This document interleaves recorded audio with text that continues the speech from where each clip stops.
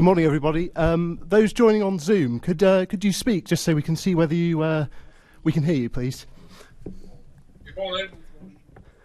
Good morning. Dan from Potters Bar. Great, thank you very much.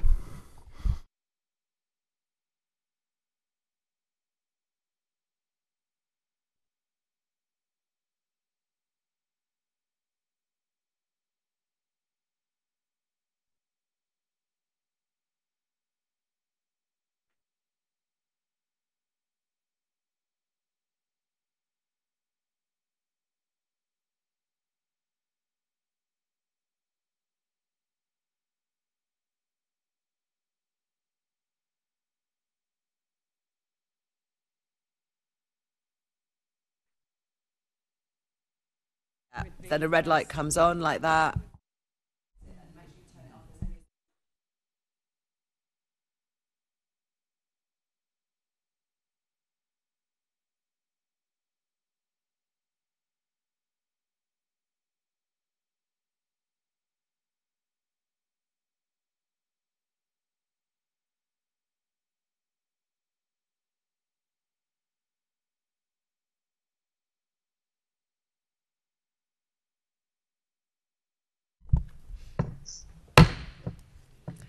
Okay, um, members and guests, uh, welcome to the first Transport Committee of this Assembly year. Um, I'm very pleased to be in the chair for this year, and I just want to say thank you to our previous chair, uh, Assembly Member Pidgeon, who is staying on as Deputy Chair, and I will be drawing inordinately upon her support and advice in this year.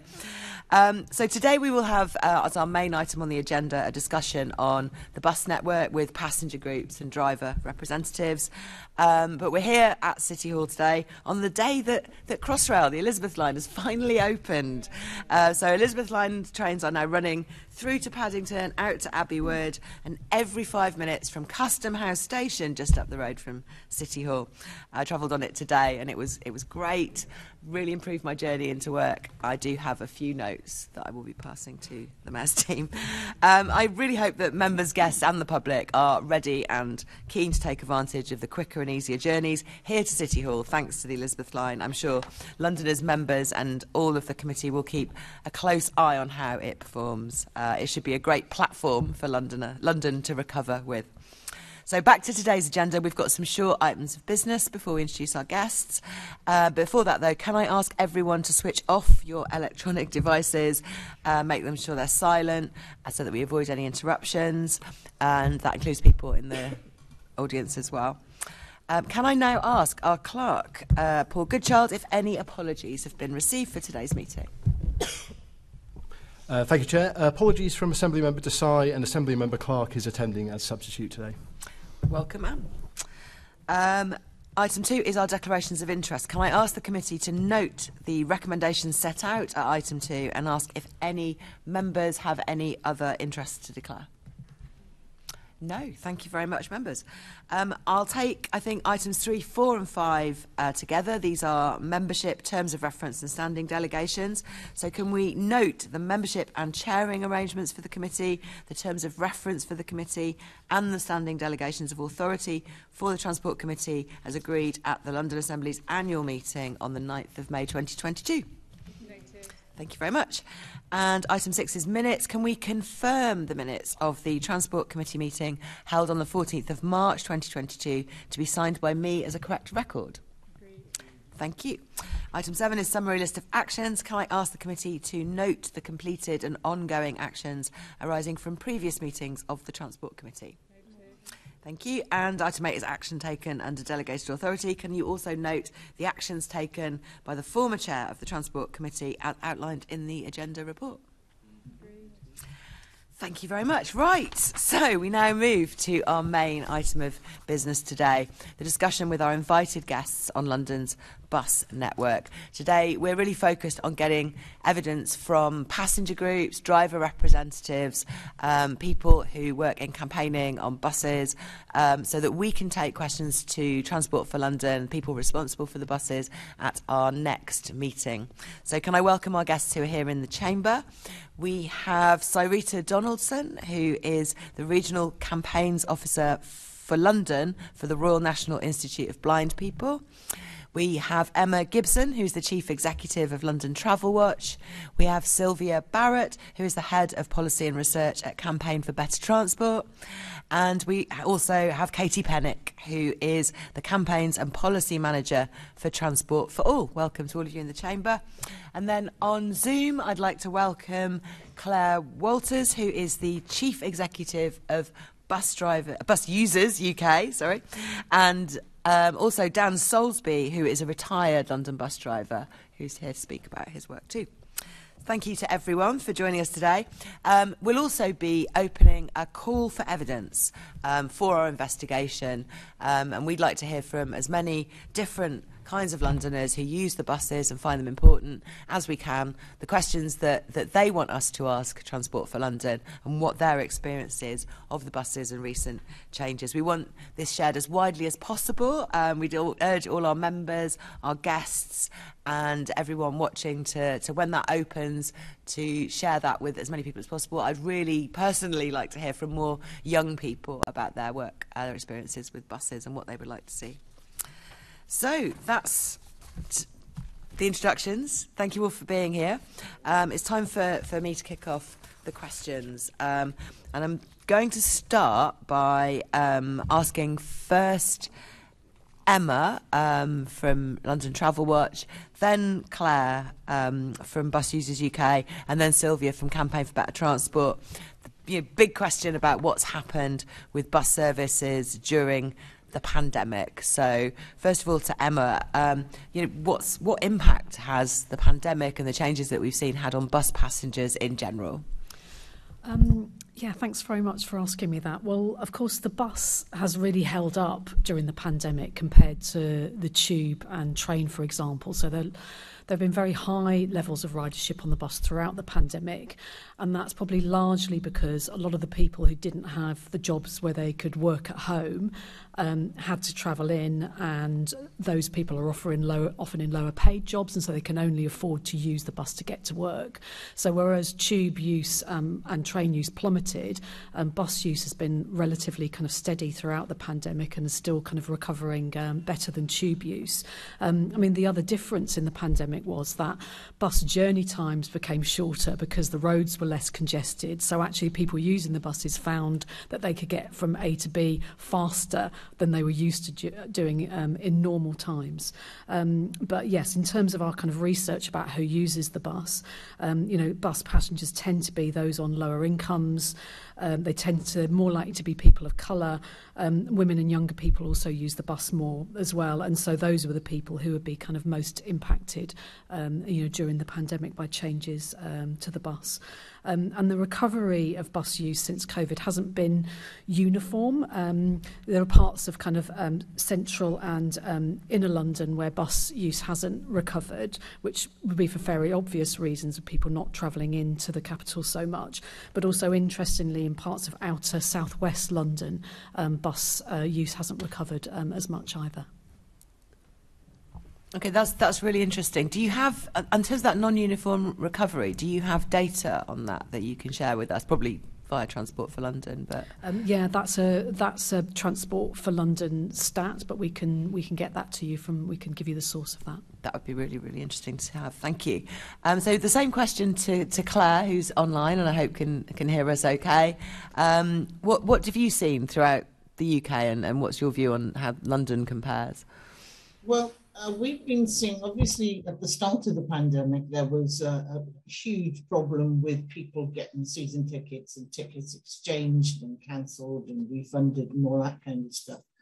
Um, but that evened out during the course of the pandemic. I think the biggest thing that we've seen um, is the, uh, the fearfulness, if you like, about people being told by the government that uh, public transport was a terrible thing to be on if you're scared of COVID, uh, that people shouldn't travel on public transport. And that message hit home and hit hard. And so it's not recovered from that yet. There are still lots of people who are actually now more concerned because when they do have to travel, people aren't generally all wearing masks. Um, and so those with uh, genuine medical exemptions and particular uh, concerns about being around other people, they're still suffering from anxiety and fear about traveling. Um, and that's uh, across the board. It's not just London, although in London, I think it's less apparent on bus than it is on, as Emma was saying, other forms of transport. Uh, because a lot more older people in particular, um, and I count as older, I'm afraid, not younger, um, will wear a mask nowadays for their own benefit rather than necessarily other people's benefit, which was the case. So I think there is a concern about that. There's also a concern about um, about routes being cut and changed and moved around. Um, that's always uh, disturbing to people's confidence. I mean, not so much in the centre where you've got lots of uh, lots of options, but the further out you go, and particularly on the border with the TFL area, there's a lot of disruption to people's standard journeys where TFL buses do or don't run and they're competing against other local buses. Um, so I think there's still some confusion about whether or not uh, people should or shouldn't be catching buses and whether or not it's going to be as convenient as it used to be. So I do think there are concerns there, and I, I am worried that that a car-based recovery uh, will jeopardise what's going on. However, the one thing I will say is that um, other than private motorists, a lot of people are much happier now that the buses are all 24 hours, the bus lanes rather, are 24 hours because it's now clear you're not supposed to be in a bus lane, it's for buses. So I think that was an upside. Um, you mentioned um, buses being switched around in, in London, and we'll come on to discuss that later on. Um, across the rest of the country, um, where there's less regulation of buses, did we see during the pandemic many bus routes cut and things like that? Is that something you've been monitoring? Well, we have seen quite a lot of that. I mean, that's also been exacerbated by the driver shortage, obviously, which I'm sure Dan will be telling us something about um, and people um, switching out of driving buses and going off to drive for Amazon or whatever. Um, but I do think it's been um, a countrywide problem, uh, less so um, in some parts of Wales, uh, but actually even more so in some parts of Scotland. So it, it doesn't seem to matter what nation you're in. Um, there, there's been disruption, and it's very hard to claw that back in a, in a short period of time. So I do think there needs to be a lot more positive messaging around catching the bus now. Thank you very much. Um, so the same question again to, to Silviya from Campaign for Better Transport. Sorry, to add two points to what has already been said. Firstly, on uh, the impact of the messaging uh, at the beginning of the pandemic not to avoid using public transport. Uh, as Claire said, this has been enormously damaging to uh, passengers' confidence uh, in using buses and tube. Uh, there has been a lot of debate about the um, compulsory wearing of masks and uh, the, the messaging that still remains, there's still signs on buses that tell you uh, you should be wearing masks.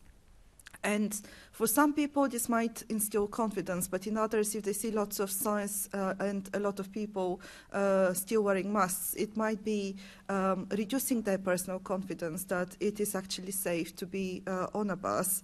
Um, whereas I feel that the message we should be conveying to passengers is that um, the, the, bus is no uh, more dangerous than it was before. Viruses always existed. Uh, th there's always uh, a certain percentage of risk, but um, perhaps the messaging that uh, masks need to persist uh, might be reducing confidence among uh, among the majority of passengers.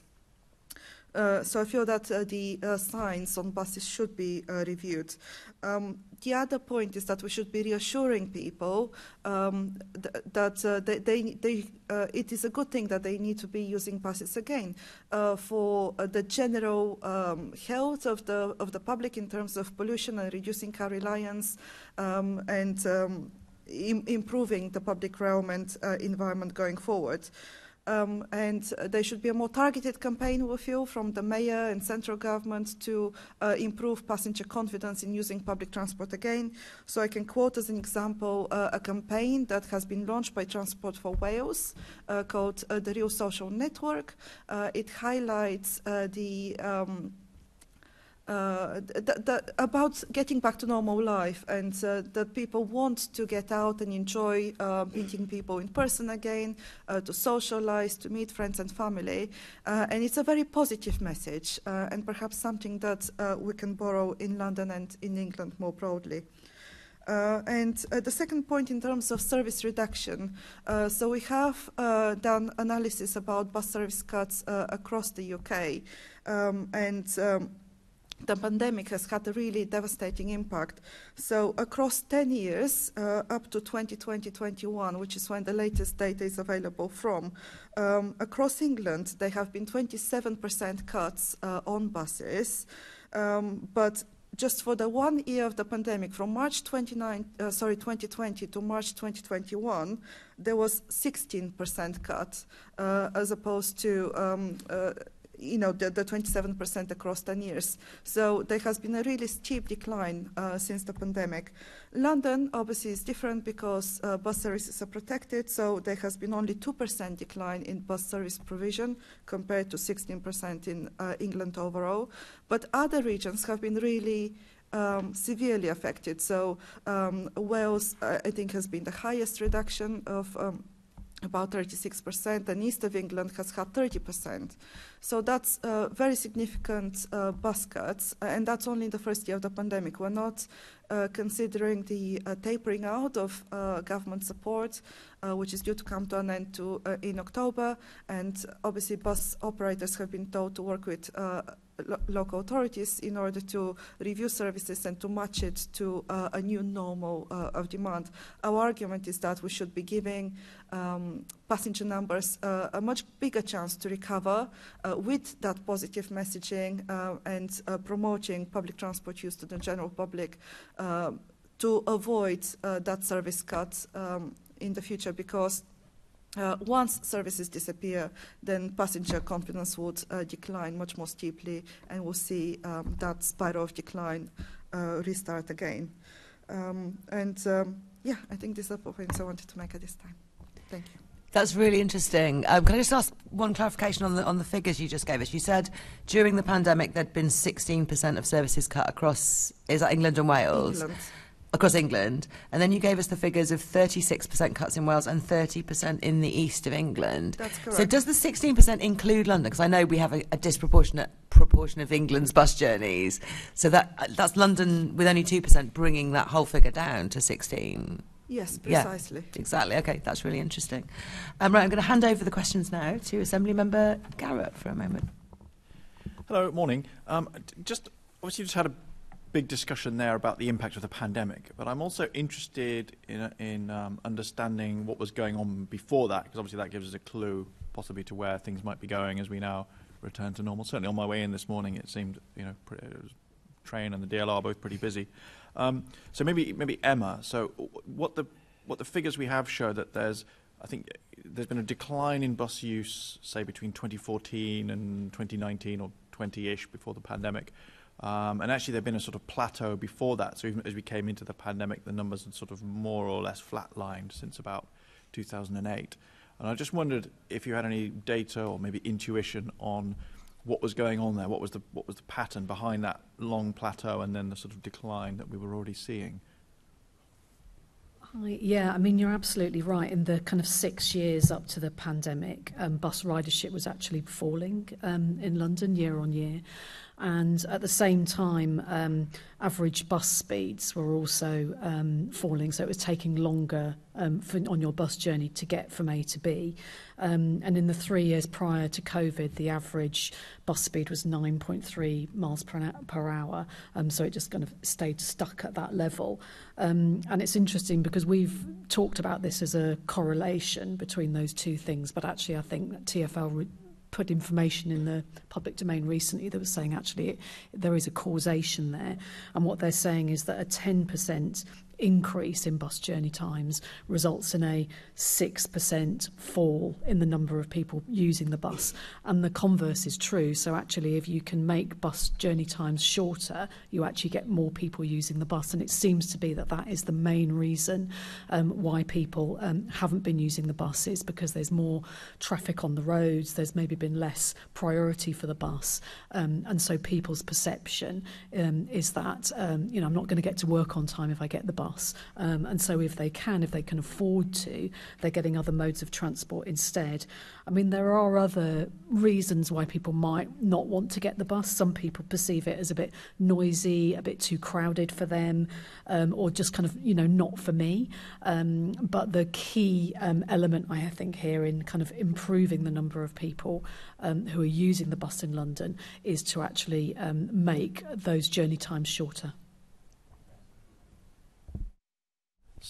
Sorry. Um, I mean, the point you point you make about perception, I, I suppose I would say that that's that's not a, that would be a reason why some people would, might never use the bus. It's not a reason why people who already use it would stop using it because I would imagine that hasn't changed. So you know, in terms of it, in terms of ridership declining, I don't know. I mean, the other change, obviously, you've, so you focused on speed. I think as the you think that's the primary reason. Um, I don't know whether you've looked at because obviously there's been over that same time period a big increase in private hire vehicles, particularly the sort of app-based, you know, uh, call upon demand type. I don't know whether whether that's a possible factor as well as an alternative form of transport that's quite new and might be competing for some of those journeys. I think it's possible that um, that private hire vehicles are competing for some of those journeys, but those private hire vehicles are also creating more vehicles on the road, which is slowing down bus journeys. So I think it kind of it works both ways.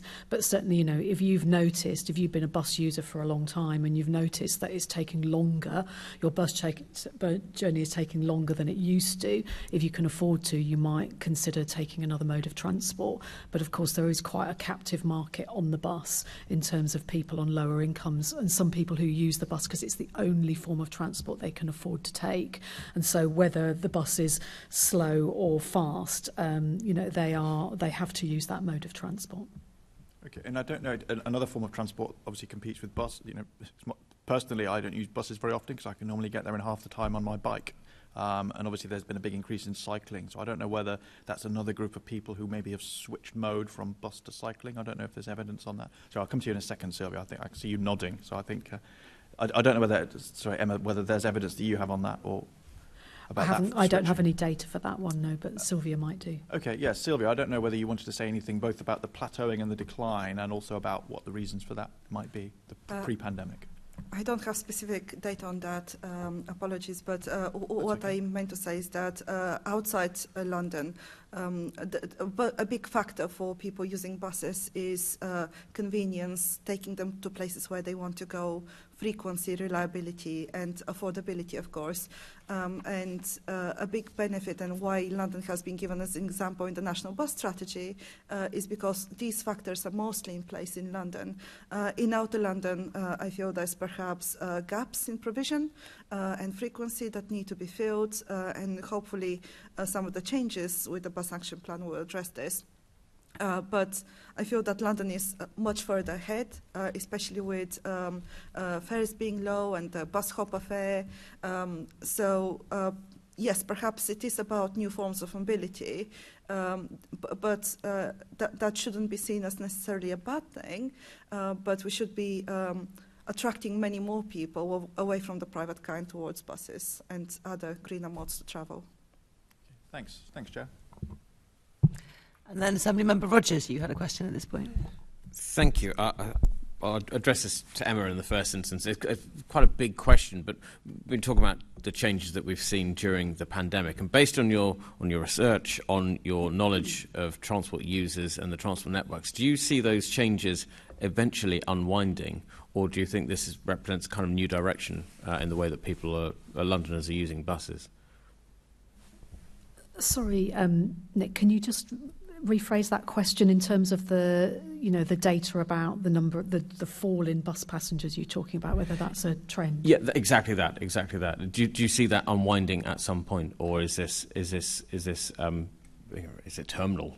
Uh, as, No, a, as, a, as a change. Yeah, no, fact, no, I, I, it's definitely not terminal. Um, and I think we're going to talk about TFL's bus action plan later. And I think that is a really, really kind of clear roadmap for reversing that decline in bus ridership. And I think if TFL are able to deliver that bus action plan in full, and partly that's going to, some of those changes are funding dependent, I think that they will reverse the. Um, the uh, you know the decline in bus ridership and get that up again. And obviously, it's really important if we're going to meet the mayor's goal of 80% of trips being walking and cycling and active travel. Um, you know, bus users got to go up by 40%. So it's it's an imperative actually. Um, and there are you know bus journey times are the key thing, and um, TFL recognise that's the kind of the key driver for getting people back on the bus. Um, but other things like they've you know the 63 bus recently they've got you know, um, you know, uh, you can plug in and charge your phone um, on the, you know, there's comfy seats. There's better displays of information about where, where your next bus stop is and what the connections are. Those things will make a difference as well to um, making the bus kind of more attractive to use. Thank you very much. Um, so our, our next questions are from Assembly Member Clarke. Thank you, Chair. Emma, I have some more questions for you and your um, research on who on, on who uses uh, the buses. Um, I'm just wondering, do, do cuts or reductions in services affect those in different age groups more, such as young people who only get free travel on buses? Um, yeah, thanks for that. Um, I mean, London's the bus in London is the most accessible and affordable and citywide kind of form of, of public transport, and the bus tends to go where you know in places where trains and tubes don't go, um, for example. Um, and um, whilst any kind of cuts or reduction in service will affect all passengers across London, it's people on lower incomes who will be affected um, the most. Um, because our research shows that um, you know that a third of all bus journeys are made by people in households earning less than twenty thousand pounds, for example. Um, so those are the people that are really um, going to be kind of affected by any changes to the bus. Um, it's interesting in terms of age. Actually, the bus, our research found that the bus is used by people of all um, ages. Um, around um, a fifth of bus users are um, between 5 and 16 years old. And the kind of the largest group of bus users, about a third, are actually between 25 and 44. And there are also a lot of older people who use the bus. So actually, um, it's people across a very wide range of age ranges who use the bus and would be affected by any changes. Okay.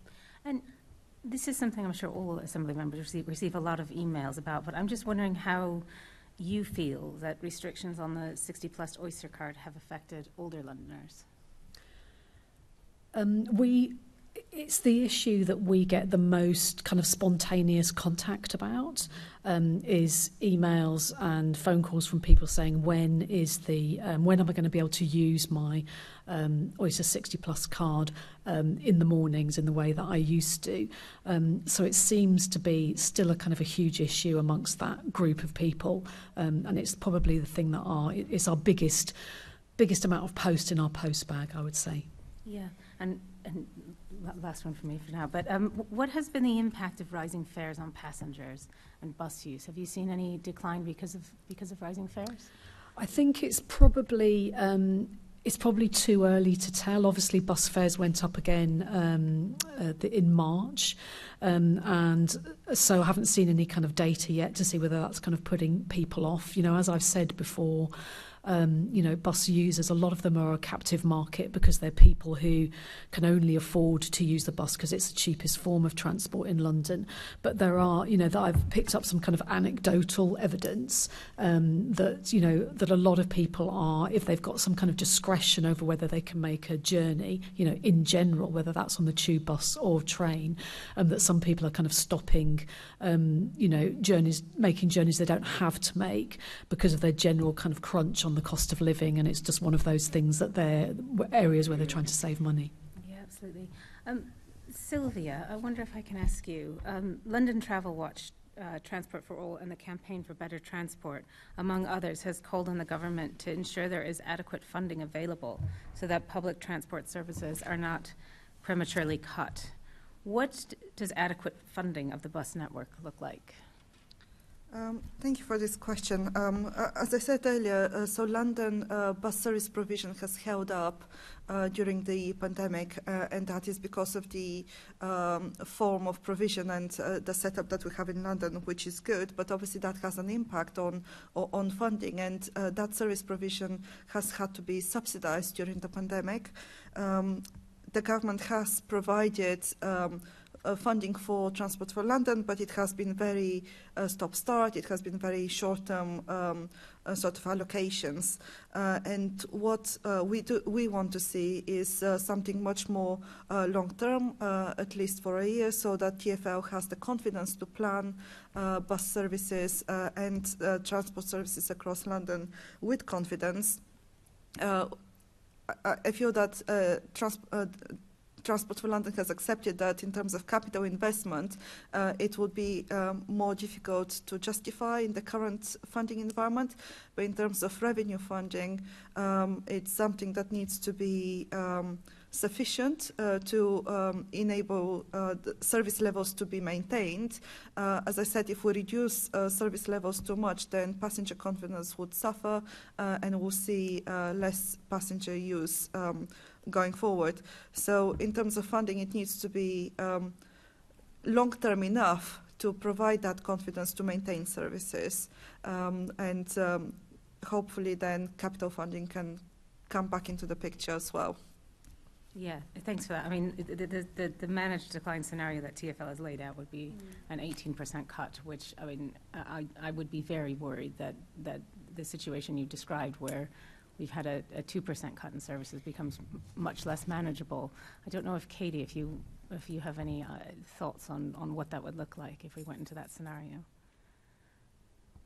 Yes, absolutely. I mean, we're really concerned about uh, the impact that cuts and reductions of bus services would have uh, disproportionately on disabled Londoners. Um, so, firstly, any significant reductions in the frequency of buses could lead to more crowded services, or at least the perception of more crowded services, both on the vehicle and at bus stops. Um, this obviously means an increased likelihood of that one priority space per vehicle being already occupied um, either legitimately by another disabled person or by a passenger with luggage or buggies, putting the disabled passenger into a position of conflict. A more crowded vehicle also presents a barrier to blind and visually impaired people, and also people who are less steady on their feet, with more kind of pushing and jostling from other passengers, which can lead to falls. Um, chronically ill people and people who are immunocompromised um, can also be deterred from using crowded services um, due to the inability to maintain social distancing. There's also the issue that while for non disabled people there may be a, a whole variety of different alternative transport routes available, for many disabled people there is often only one route to get from A to B.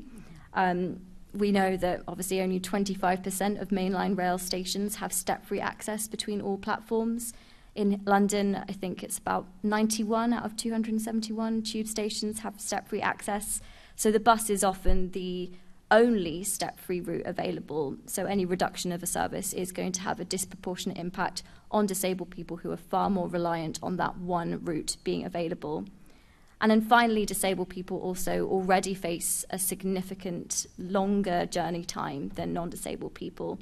Any cuts to services re- resulting in an increased average journey time will hit disabled people the hardest, and that applies both for the journey time on the vehicle and also for the wait at the bus stop. Many disabled people simply cannot stand at a bus stop for five, ten more minutes. Um, and when a journey becomes too long and too difficult to do, it can become an insurmountable barrier to leaving the house. So we are very concerned about reductions. Thank, thank you very much, Katie. And over to you, Chair. Thank you very much. Um, and so it's over to Assembly Member Bailey for some more questions for our representatives of disabled people. Um, good morning to our guests. Um, thank you for coming. Can I address my first questions to Katie and Cyreeta? Uh, if I start with you, Katie, can you give people listening some idea of why the bus service is so important to disabled Londoners? One second. Absolutely. Um, so we've come a really long way since the very first low floor buses were trialled in several routes in London. That was in 1995. Come a huge way since then. Obviously, now we have every single one of the 9,000 buses in our fleet are low floor, and they are fitted with automatic ramps, hearing loops, um, audio-visual information, display screens, and many other accessibility features. And buses really play an integral part in disabled Londoners' lives. I've mentioned already about the, the lack of other alternative accessible options that are available. So it's really uh, also very important to remember that only uh, uh, two thirds of disabled Londoners don't have household access to a car. So it's really no surprise that the second most used form of transport for disabled Londoners is the bus, second only after walking and wheeling, of course. And the Freedom Pass also provides many disabled Londoners uh, with free travel on bus services, um, which goes some way to address the financial barrier to travel as well. Um, so the bus really is a, a hugely important part of disabled Londoners' transport lives. Okay. so Cyreeta, is there anything to add? Yes, um, I just want to reiterate what Katie's already mentioned. For blind and partially sighted um, bus users, um, it usually is their only form of transport. Of course, blind partially sighted people uh, would not have access to cars, um, and also an older older generation of blind and partially sighted people may be reluctant to get on tubes um, due to changes and lack of awareness. Um, bus routes tend to be more reliable, um, well, is assumed to be more reliable, and also they're able to plan their journey before they leave their house. Um, also, for cane users and guide dog users, they would plan um, they would memorize their routes to bus stops. Um, so just to go back to the reduction of services or any changes of services, if you're if you have memorized your way to a bus stop and then all of a sudden that bus stop is no longer in use or that service has been cut without your prior knowledge of it, um, it could be very traumatic and completely stop you from being able to get to work, get to school, get to anywhere you need to go. Um, so buses are integral to blind and partially sighted people navigating London. Um, again, again, a question um, posed to both of you. What barriers disabled, do disabled people face to using a bus service in London? Is there any particular barriers that you think we should be looking at? Uh, well, from the perspective of blind and partially sighted people, there are multiple barriers. Um, whilst a lot has happened over the years um, in terms of audio audio description on buses and larger um, display screens, it's still hit and miss. Um, so it doesn't seem to be a priority. Um, so number one, audio. When you get to bus stops, there's no audio description of when the bus come in or how long it's going to take. Um, also, when you get on the bus, depending on the bus, sometimes that audio is not there. Um, bus drivers tend to drive past a bus stop if someone's not hailing a bus. And as I'm sure if you can imagine, um, if you're blind and partially sighted, you may not be aware that a bus is approaching. Um, not all blind and partially sighted people are cane users or dog users. So I am aware that it might be hard for bus drivers to know if someone needs that assistance. Um, but it can lead to someone standing at a bus stop for a very long time, um, waiting, not knowing that the bus is approaching.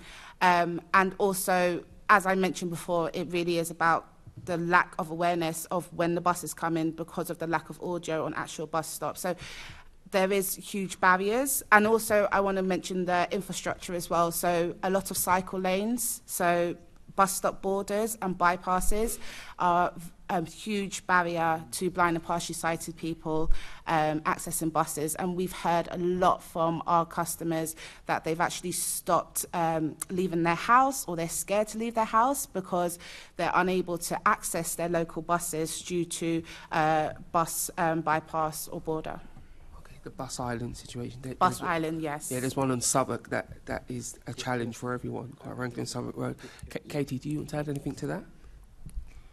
Yeah, um, I, I really agree with everything that's been said. Um, I think although the bus is the most accessible form of transport to many disabled people, I think in recent years progress has stalled somewhat um, and barriers do still remain. Um, so these barriers I think can be categorized into physical, so that's the infrastructure, bus vehicle design, bus stop design, behavioral, which are the attitudes of both the driver and other passengers, and also information and communication, including availability of real time journey data, signage, audiovisual information, maps, etc. Um, so, in terms of physical, um, something that people will talk about a lot is is the fact that there is only one priority space per vehicle, and this is a real, real issue. Um, for disabled people, it means that if there is already someone in a wheelchair or another mobility aid or an assistance dog already on the bus, you cannot board that bus. But that priority space is also used by people with children, people with buggies, people who are carrying luggage, which are all very valid reasons to be using the bus and needing to have more space using the bus. Um, it just means that when you're waiting for a bus and the bus arrives and that priority space is already full, it's a heart sinking moment where you know you're going to have to have some sort of battle either with another passenger or with the driver. It's really unpleasant. It's really not a nice situation for anyone to be in the passenger, the other passenger on the bus, or the driver who has to mediate conflict in these uh, scenarios. Um, so that's a massive problem with the bus design. Um, grab poles um, can be in the wrong place or um, in kind of obstructive places, not allowing for a good turning circle for wheelchairs to enter the priority space. There are issues, obviously, with ramps um, either being kind of ill fitted. There is quite a large lip sometimes between where the ramp meets the floor of the bus. Sometimes the ramps can be simply too steep for manual wheelchairs to be able to push up. Certainly, my arms aren't strong enough for lots of scenarios. Um, and then, of course, bus stop infrastructure, which we've heard a bit about already, bus stop bypasses, floating bus stops, but also the lack of seats and shelter for people who are chronically ill, need to sit down. Um, that can be a real barrier and an unwelcoming environment, including kind of rubbish or dirt or graffiti, um, can be anxiety inducing. Um, for the behavioural barriers um, in terms of bus driver behaviour, this is something we hear about time and time again from our members. It's a real barrier, is simply the bus driver not having the adequate uh, confidence, skills, or expertise or training uh, to be able to provide an equitable service to disabled passengers. Um, to really do what is written in the big red book, what is expected of disabled uh, for bus drivers. So this is, you know, crouching the bus to lower the floor of the bus down, deploying the ramp correctly in the right order, you know, allowing passengers on first, opening the door. All you know, things have to happen in a particular order, and this often doesn't happen. We hear reports of. Um, bus drivers who refuse to pick up disabled passengers, um, who might shut doors too quickly um, in the face of disabled passengers who are boarding, who might pull away before everyone is kind of securely seated, um, and then uh, more serious complaints as well to do with bus driver behaviour in terms of um, ignorant, rude, or discriminatory attitudes and behaviour. There's also issues with the behaviour of other passengers on the bus, and this can range from anything from kind of minor harassment to abuse, hate crime, um, but also more kind of everyday things like not giving up seats, the priority seats for a disabled person, um, or even the peer policing of the priority seats. Um, you know, comments saying you don't deserve to sit there, you're not disabled if you have a non-visible impairment. And then finally, um, information and communication, which we've already touched upon, um, but just some things to add. Um, we hear from our members that the, uh, the, the, the bus I think it's the iBus infrastructure uh, that provides real time journey information can be very inaccurate at points, giving um, incorrect ETAs. Um, I don't know the extent of that issue, but that is certainly a perceived issue amongst our members, which could really contribute to anxiety if you're kind of waiting for a bus and the the minutes aren't ticking down or it disappears from the screen altogether. That can be a real barrier. Um, and then there's also the issue of what happens during a diversion. Um, if there, a bus is on diversion, or if things changed, um, or if things change, the alternative route is often not kind of adequately communicated to passengers. Um, and if they have to replan their journey, that can often be incredibly difficult. I think the usual mode of communication in those scenarios is for the driver or, or for the bus announcement to make a kind of audio announcement, but that can be very inaccessible to deaf and hard of hearing passengers. Um, and then the signage and display screen and audiovisual announcements uh, creating barriers as well, which we've already touched upon. Um, thank you for that. Just listening to, to both of you speak, it sounds like there's an awful lot that needs to be done. Um, Yeah. Do you feel like that work is being done by TFL? What more could the Mayor and TFL be doing about some or all of those issues? Absolutely. Well, as I, I mentioned, I think you know we've we've come a, a huge way in the last um, couple of decades. But you are very right. There are many outstanding barriers that still need to be addressed, and I think progress has stalled. Um, I think we're going to come on later to talk about the bus action plan, but I think there are some really strong actions included in that plan to start to address some of these issues, but also some significant gaps. And I think for me in Transport for All, this all comes down to the need to be working with disabled experts to co-produce inclusive solutions that will work for everyone and always maintaining that pan-impairment approach to solutions. So ensuring that all disabled people, regardless of impairment groups, um, are having their needs met. Um, but you need that kind of experience-led expert knowledge to be able to provide those solutions. I, I, thank you for your contribution. I think as someone who rides the bus regularly, there's an education piece as well, because some of the things you've said I'm not fully aware of, and I get the bus almost every morning, and I think I could be of more help if somebody told me how to help, if you see what I mean. But um, thank you. Back to you, Chair. Thank you very much. Um, before we move on, we've got a quick question from Assembly Member Garratt, I think. Yeah. Yes. Uh, Katie, I was interested in what you were saying about um, sort of difficulty with, so where provision in theory exists, things like the access ramps and so on, sometimes in practice it doesn't quite work out as smoothly as it you know might might supposed to. And I was just, I suppose I had two two thoughts really. One is um, obviously uh, whether, whether that's getting better or worse over time. You know, things like a bus pulls up at a stop and it hasn't lined up with the stop properly, or it doesn't lower, or the ramp doesn't come out. Whether that's something that's getting better or worse, or if it's just a sort of background level problem that just seems to always be there, uh, and, and to what extent that happens. And I suppose the other thing is whether, because one of the things we hear from bus drivers is they're obviously under time pressure. There's a timetable. They need to sort of keep keep the bus moving. Um, and I, I can't remember whether you mentioned it, but obviously one of the other issues would be people who board the bus and then maybe take slightly longer to find their seat. So they're still finding their seat when the bus is setting off again, which you know is a, is a cause of trips and falls and you know injuries on, on buses. And I don't know whether that whether, you know whether, whether whether you find that also is an issue. And again, is it getting worse or better or just a sort of steady background problem? Yes, thank you um, for those questions. I think both of those relate to driver behaviour. Um, and I think the issue is that I've mentioned before is that often drivers are just not equipped with the, the, the kind of confidence and expertise and skills that they need to be able to provide that service. And this comes down to um, the provision of driver training. Um, as for whether things have changed, um, I don't have any kind of concrete evidence on that, but what we hear from our members is that it is a constant, that things aren't getting better, but they aren't necessarily getting any worse either. I think um, issues with drivers has just been a long-standing issue, um, yeah, for the last couple of decades.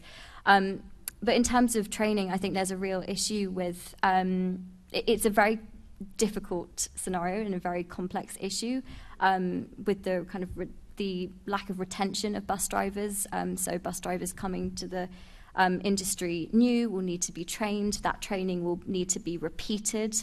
Um, I think at the moment, as it happens, bus drivers who are new to the role get training in all of those things, you know, how to correctly pull up to the curb so it aligns, how to deploy the ramp correctly, how to lower the bus, all the things that you need to do in the big red book. But then they don't have that repeat, that training repeated um, after that first initial batch of training. Um, and then if you are a driver and you just never happen to pick up a disabled passenger, which you know could happen, um, if you were never in that scenario and you're never kind of practicing those skills, you might not actually know what to do in that situation. So I think there's there's a point around the kind of initial training, but there's also a point around that repeating of that training. Thanks. I wonder if I could just ask John. I haven't heard. Obviously, we've just been hearing about things that bus drivers aren't doing where they could do better. I just wonder what the what that looks like from the bus driver's point of view. Whether you feel time pressure is an issue, or whether it is training, or whether it's you know some bus drivers just. Sorry, Dan. I do apologise. That's my. I, I, John is the person who's not here, and, and Dan, I apologise. So, so the, the, um, Dan, the bus driver we have remotely, I wonder whether you could comment on wh- how that looks from the driver's point of view, because I don't imagine you know, you know, people like take sort of pride in their work and doing a good job. Yes, uh, can you hear me all right? Yeah, yeah uh, it's uh, a tricky situation. Uh, drivers are sitting in the cab surrounded by the protective screen, and often he tries to help give information to people, and they can't hear him because uh, the voice isn't getting out. We could do with a, a speaker near the doorways to um, allow people of all ages and disabilities to hear from the first point of view what, what service we have and where it's going to. And if they're blind or disabled or, or whatever, they, it could be a screen and an audio to tell people what's happening. But the driver is sitting there, he doesn't get a lot of information. And it, the drivers could easily, I mean, the technology's there, drivers could be informed how things are, are, are going on, how delays, uh, accidents, uh, diversions. Uh, these things generally are not passed to the driver. And uh, that comment earlier is is a you know the, the comment about the drivers being on the route for, for weeks maybe and, and not encountering any uh, disabled persons or wheelchairs, and then they come across one and they've got to stop and think for a minute, and sometimes at the moment's passed, and they, they don't always get the right opportunity or, or the correct training, if you like. Uh, I, I, think bus drivers probably should have more training with for you know for disability access and letting people know what's happening and helping them everywhere they can. But um, the driver sitting in the cab there, all boxed up, and he often can't be heard. Um, so there must be simple uh, solutions to allow the driver to be heard more and allow him to help passengers more. But you should, they should have more training uh, in a regular interval. So that's, uh, I'm agree with that.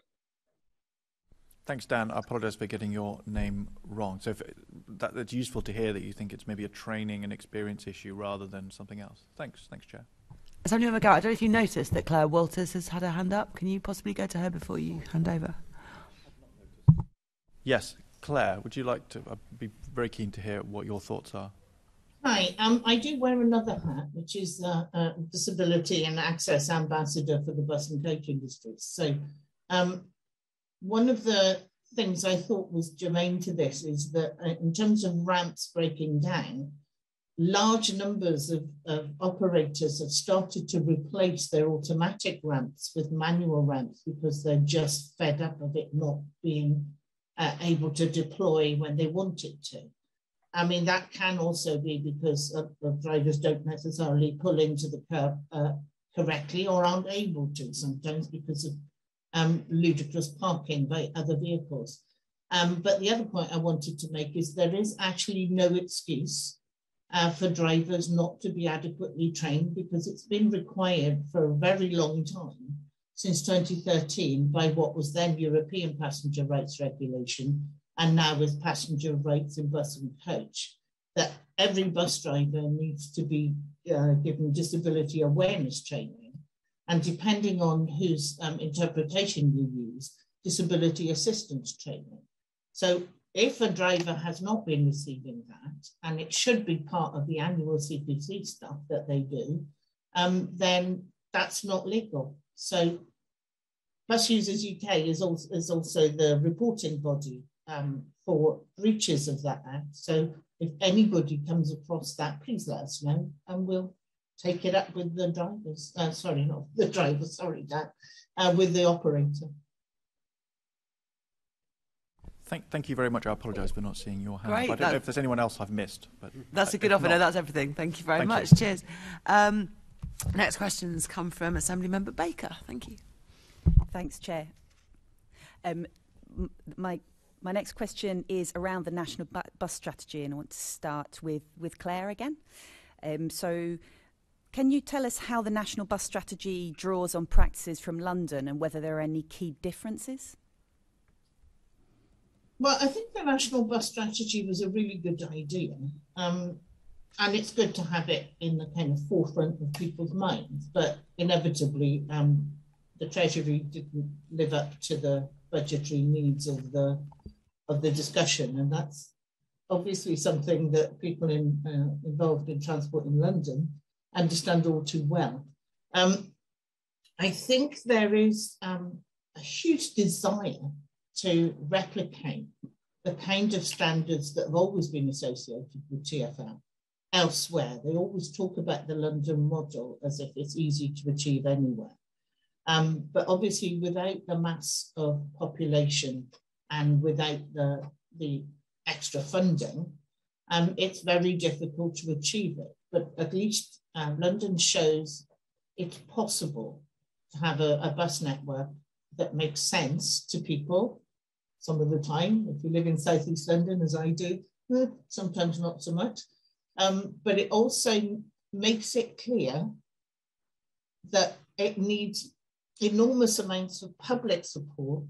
It needs um, sticks as well as carrots. You can't just expect traffic to melt away magically. You have to make sure that private cars are not the option and that buses are given priority everywhere. So the, the principles behind it are there and they can see what's happened in London and most people would kill to have um, a system like we have in London, even though um, maybe since the pandemic, it's not as well supported as it should be. Um, but there's an awful lot more going on now across the country where people are talking about workplace levies, about road pricing, things that were anathema in the past. Um, and I think everybody can learn from each other around the country here, um, as long as they can get the funding to do it. So, do you think it's being the strategy is being implemented by transport authorities around the UK, or um, are we? Is that not really the case yet? They're trying. They're trying. I mean, the, the process is excessively bureaucratic.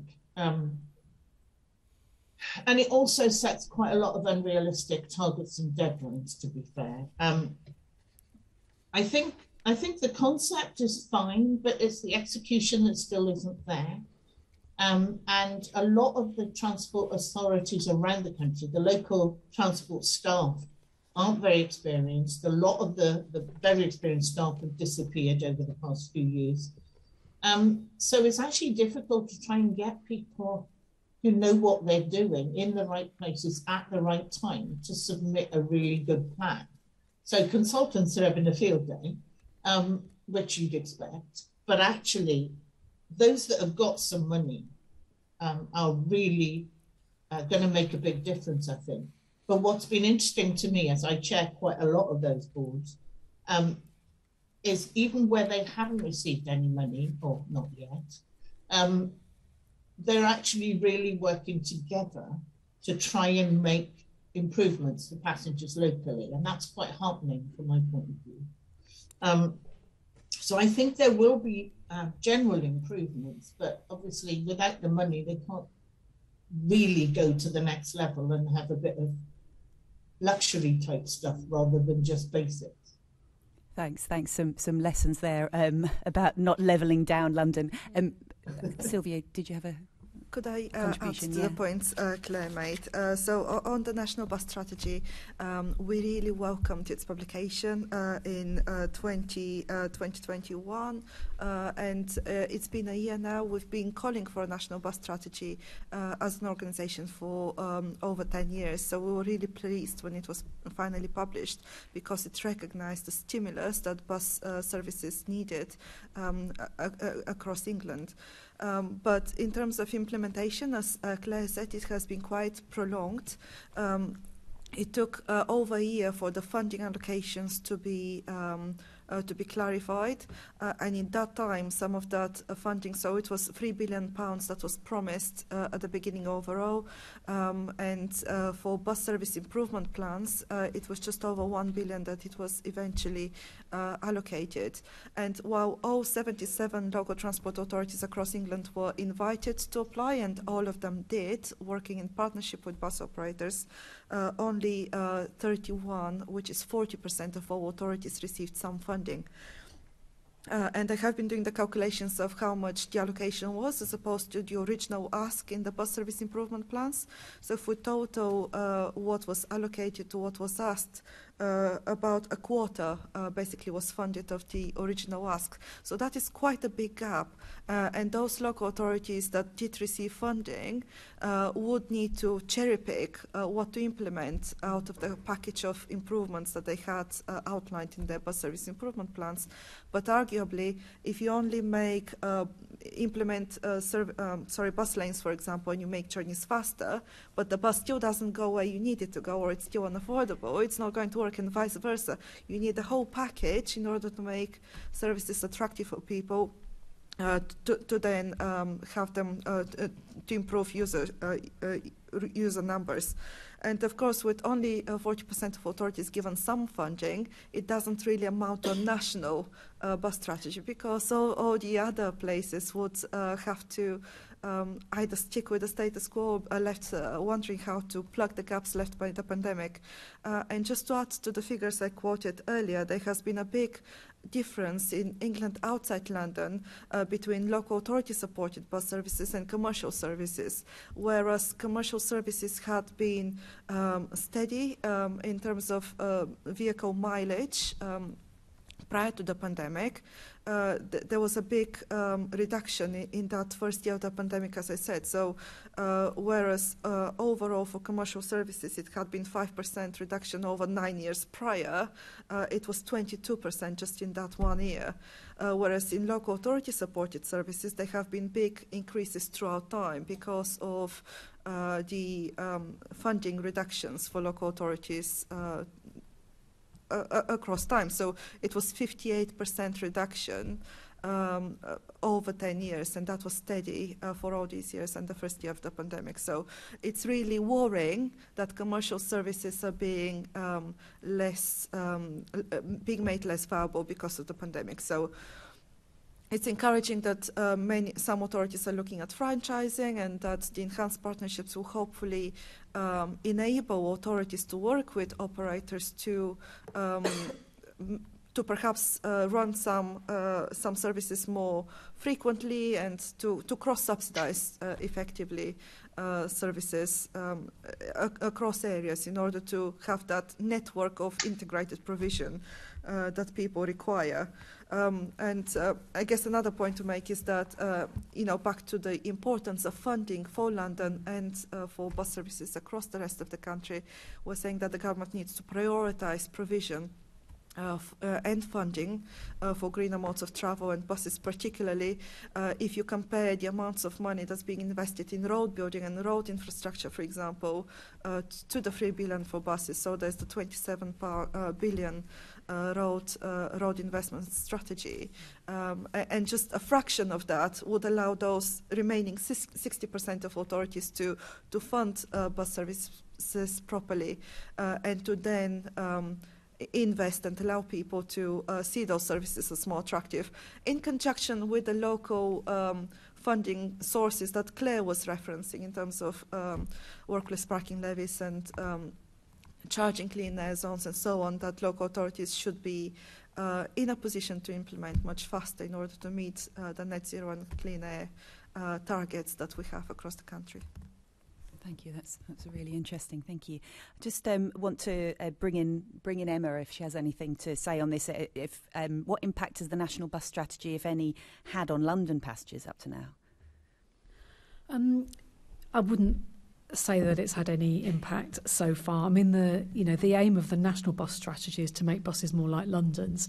So it's massively flattering to to London's network that um, that this wants to be the model wants to be copied throughout the country. But of course, there are big differences between London and the UK. In London, we can franchise our buses, um, but I think that there are some kind of areas of good practice happening in other parts of the country um, that TFL could learn from, and that might be a, something you're going to ask about in a minute. Yeah, I'm not going to I'm not going to talk about that. Um, but I think but I think that probably the focus on the national bus strategy has helped. I think to encourage TFL to think about the bus in a much more kind of strategic way, maybe than it had been doing a couple of years ago. That's helpful. Thanks. Thank you, Chair. Thank you very much. Um, and now over to Assembly Member Pidgeon. Well, seamlessly, um, Emma, we um, move into my question, which is looking at national and international. That's in the scope of our investigation. Um, national and international examples of best practice that London could learn from. Obviously, the national bus strategy talks about Brighton and Hove, Harrogate, and Bristol. But um, do you have any examples nationally or internationally, whether it's around bus design, um, passenger information service delivery, that where London could learn? Yeah, definitely. Then, and as you say, there are some good examples in the plan. So, in Brighton and Hove, for example, there's a really excellent partnership um, between local council and local op bus operators that's focused on bus priority measures, um, improved passenger waiting areas, and real-time um, information displays. Um, and so, and I think London has already, though. Do you know what I mean? It What is does it have that's those- extra? But I think that what TFL kind of acknowledge in their bus action plan is that they need to reset their relationship with the boroughs um, because, um, you know, 95% of the capital's roads are on borough borough roads and I think that's something that they could learn potentially from Brighton and Hove is how to work well with councils um, in Harrogate it's interesting there's a lot of the things that um, work really well on buses in Harrogate um, which have um, very high customer satisfaction levels are being copi copied on the Route 63 so as example kind of USB charging outlets more comfortable more spacious buses. Um, and in Bristol what's interesting is that um, there's a there are three limited stop routes which is something that we've talked about on this committee before um, that it use also uses bus lanes and segregated busways whereas in London there's only a handful of limited um, uh, stop bus services so I think that that's something that maybe um, London could learn from that example um, if it wants to increase ridership especially in outer London That's helpful. Yes, we've recommended time and time again sort of express bus services. Um, let's bring in Silviya next. I'm going to also be bringing in Claire. Don't worry, I've seen your hand. Silviya. A quick point to add, uh, perhaps on uh, Harrogate. Uh, I recently watched a presentation from their chief executive, and what he was emphasizing was the importance of branding and belonging and connecting to the local community. Uh, so they have a very strong local identity on the different routes, uh, which is uh, tailored uh, to the communities that they serve. Um, and uh, there's, there's a big sense of pride, and uh, they put a lot of effort in connecting to uh, the, the different target markets and create that uh, sense of pride and community belonging. So the bus belongs to you. It's um, and he was talking about how uh, local. Um, Estate agents even uh, advertise the fact that uh, if a house is on a bus route, it's it's seen as um, something that's very desirable um, and uh, uh, with a sense of pride. So perhaps that's something that we can replicate. I, I um, recognize that obviously London is a much bigger scale, but maybe there's more engagement that we can be doing at the neighborhood level to increase that sense of belonging and pride, perhaps. Um, and another thing to consider is uh, a lot of um, ad- admittedly much smaller cities in, in Europe have uh, implemented uh, free uh, public transport fares, uh, and uh, whether that uh, increases uh, public transport use. Um, I think. Um, Obviously, London has a lot of concessionary uh, fares, and uh, it's much better uh, in that perspective than uh, other towns and cities uh, in the rest of England.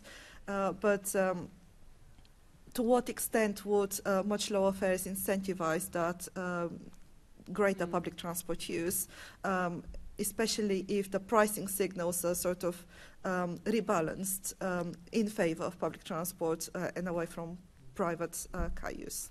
Can I add one more thing? Yes, Is sure. um, in terms of um, um, Go Ahead, who run um, bus services in different parts of uh, the country, um, provide really good online information about bus routes and, and bus maps.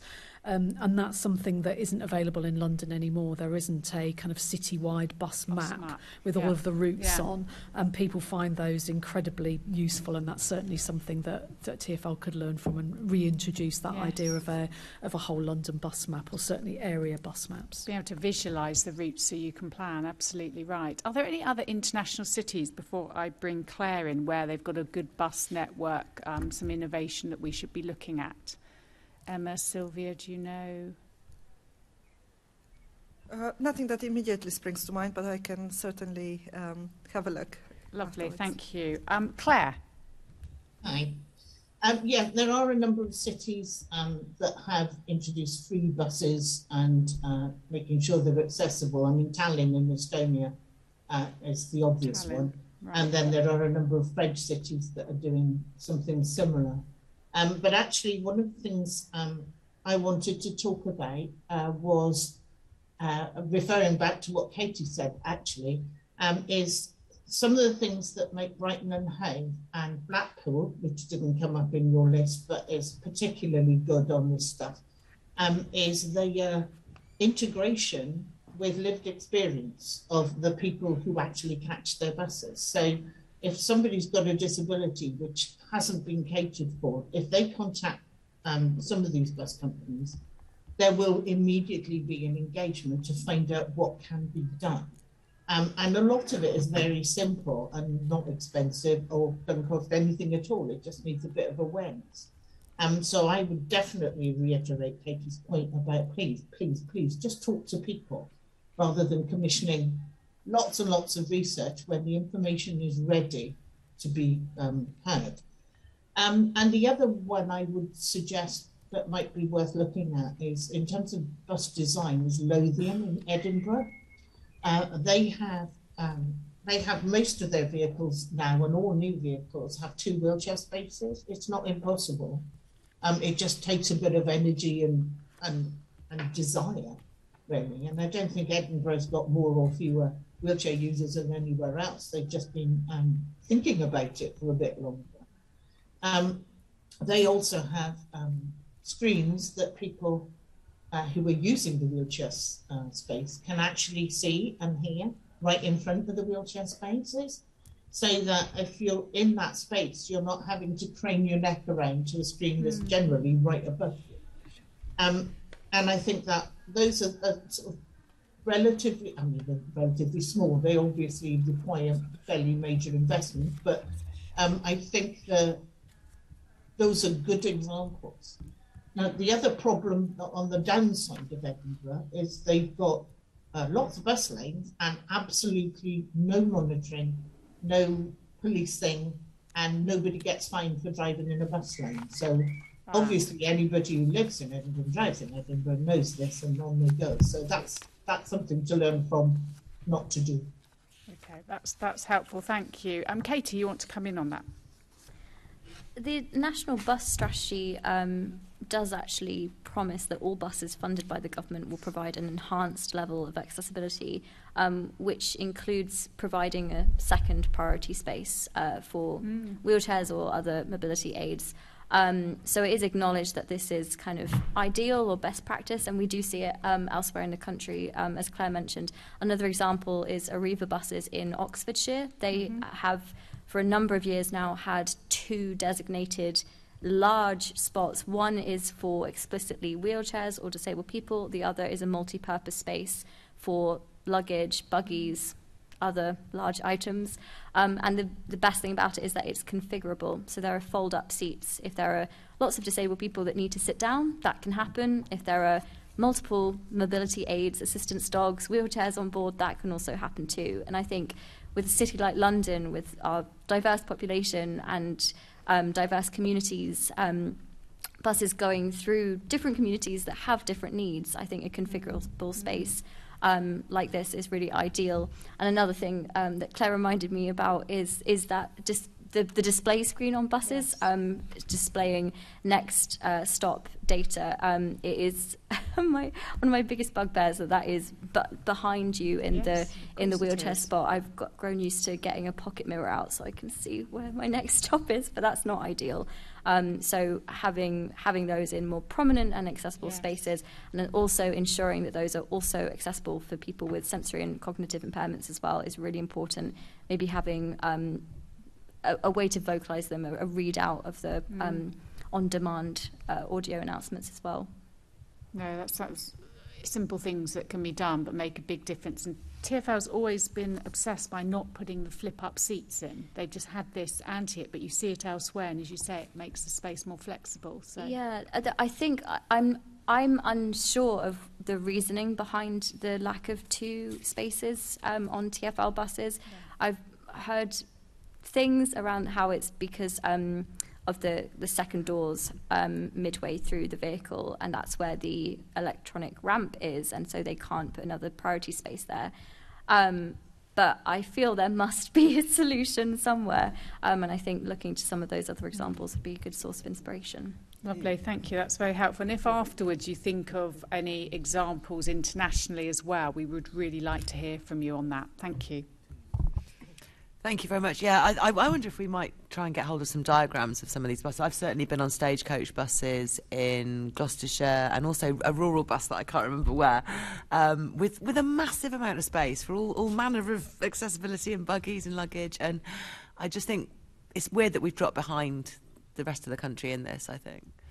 Right, I need to move on to the next um, section, which is starting to look at TFL's bus action plan, uh, which promises to fix a lot of this. Um, the first questions are from Assembly Member McCartney.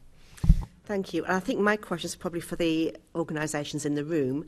And my first question is around engagement with TFL. Did they engage you on the bus action plan and did they actually listen to what you said? So, should we start with uh, Cyreeta? Um, unfortunately, I don't have the answer to that because I started in January.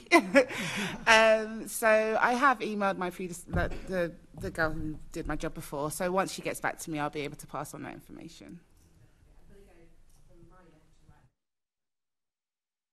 Hi there. Yes, we were consulted by TFL in last March um, about their emerging thoughts on a bus recovery plan, and we felt that our feedback was listened to.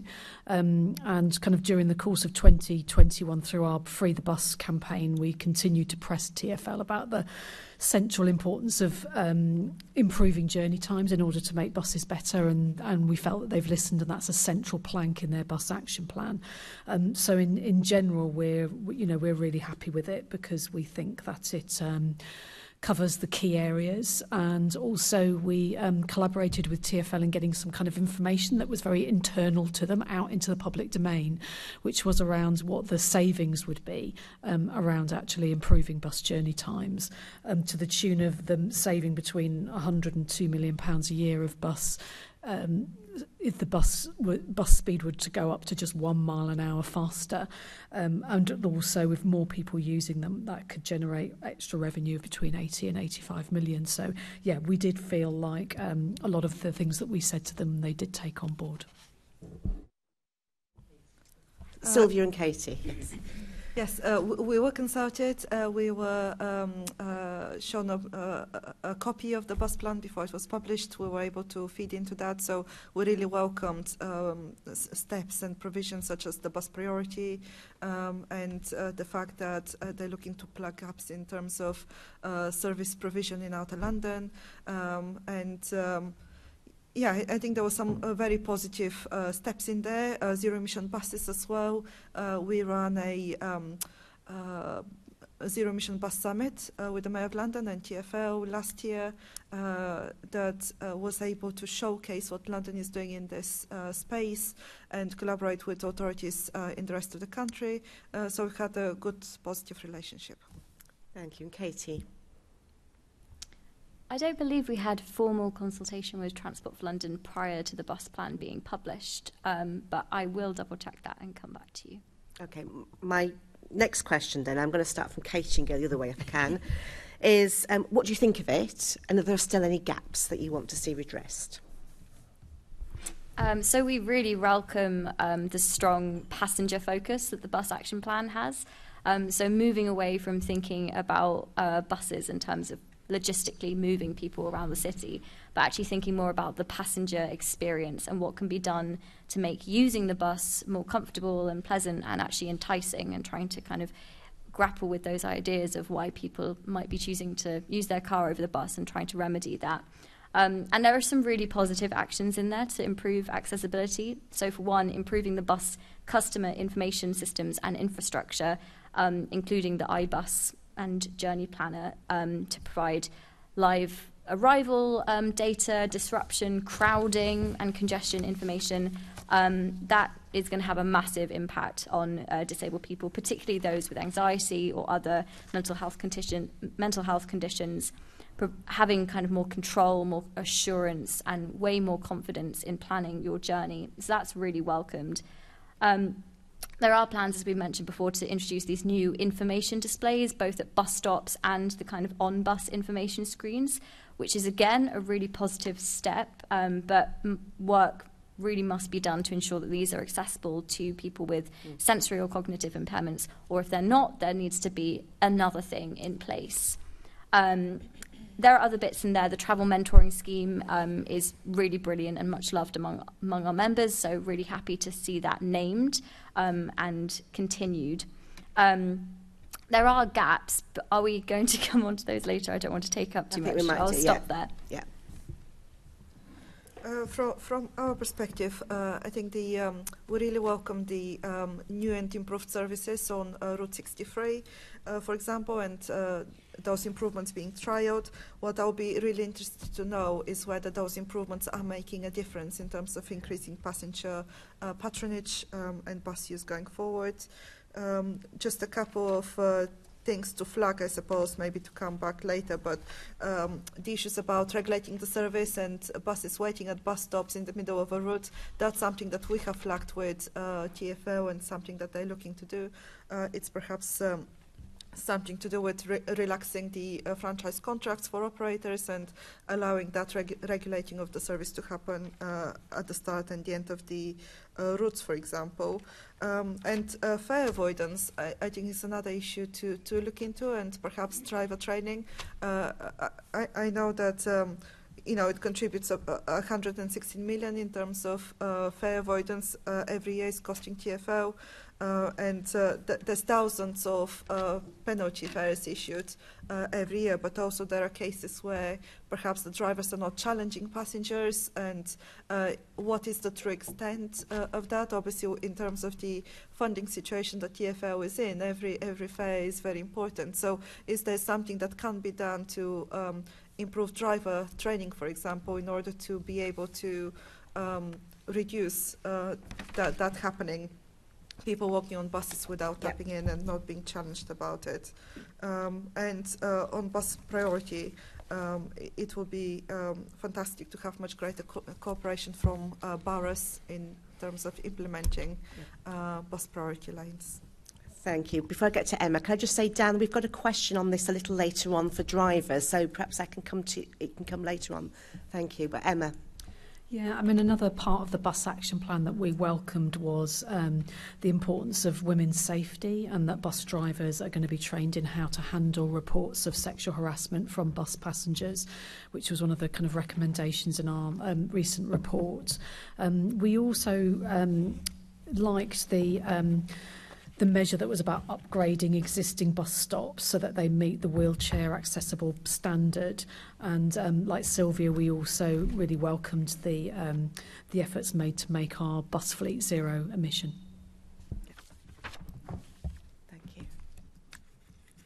Cyreeta. Yeah. Um, I don't have much to add. I just want to reiterate everyone else's points. Um, however, I do think that the um, display screen, working on display screen, is we really welcome that. Um, I do want. Uh, We really do want to um, highlight how important it is to put audio through every kind of display screen that's out there. Um, to do things digitally as well um, is very much welcomed um, in terms of apps. However, we need to remember the dig- digitally excluded, which is um, a lot of people who are blind and partially sighted, to make sure that the real-time information that's offered is available for them as well. Thank you for that. That's really helpful. Um, obviously, a lot of what TFL want to do with their um, bus action plan is dependent on government funding, and that's long-term funding coming forward. But we've all, we've touched a little bit around Outer London, um, and particularly around Outer London, where it engages with um, outside London. So in my patch in Enfield, for example, lots of my residents in North Enfield will actually frequently shop in um, Waltham Cross or Potters Bar and cross over the Hertfordshire um, border. So can I ask you, um, how important is that going to be going forward? And do we have, and perhaps this is to Emma to start with, do we have any um, um, data on whether bus users in outer London and are using the buses for different sorts of trips than perhaps in inner London? Um, I haven't got that kind of data to hand, but I think the general kind of principle of a much more kind of joined up transport network is really important in terms of information. So, I mean, it, it can be at the moment that, you know, once you leave a tube station, um, the people in the tube station might not have any information about the local bus network and where that goes. So, I think in general, there's got to be much kind of better integration of all the information for different modes of transport so that can, people can make those journeys more easily to the different places where they where they need to go. That would be my, my main point. Thank you. And the mayor's obviously warned about a managed decline if we don't have sufficient funding. Um, but they've also talked about um, if they have to take bus routes out, um, perhaps concentrating that on inner London so that you can then keep bus routes in outer London or, or put extra investment into outer London. Is that the correct way forward? Yeah, I mean, we're about to see a huge reorganisation of bus services proposed in the next couple of weeks um, with the 4% cuts to the bus that TfL are proposing to make them financially sustainable. And I think when we see those cuts, we're going to see how large just 4% cuts are, never mind 18% cuts. And I think the, the large focus of that is on central London. Um, and I think there's going to be very little there's not going to be anywhere to go, I think, once those cuts are made um, in terms of further cuts.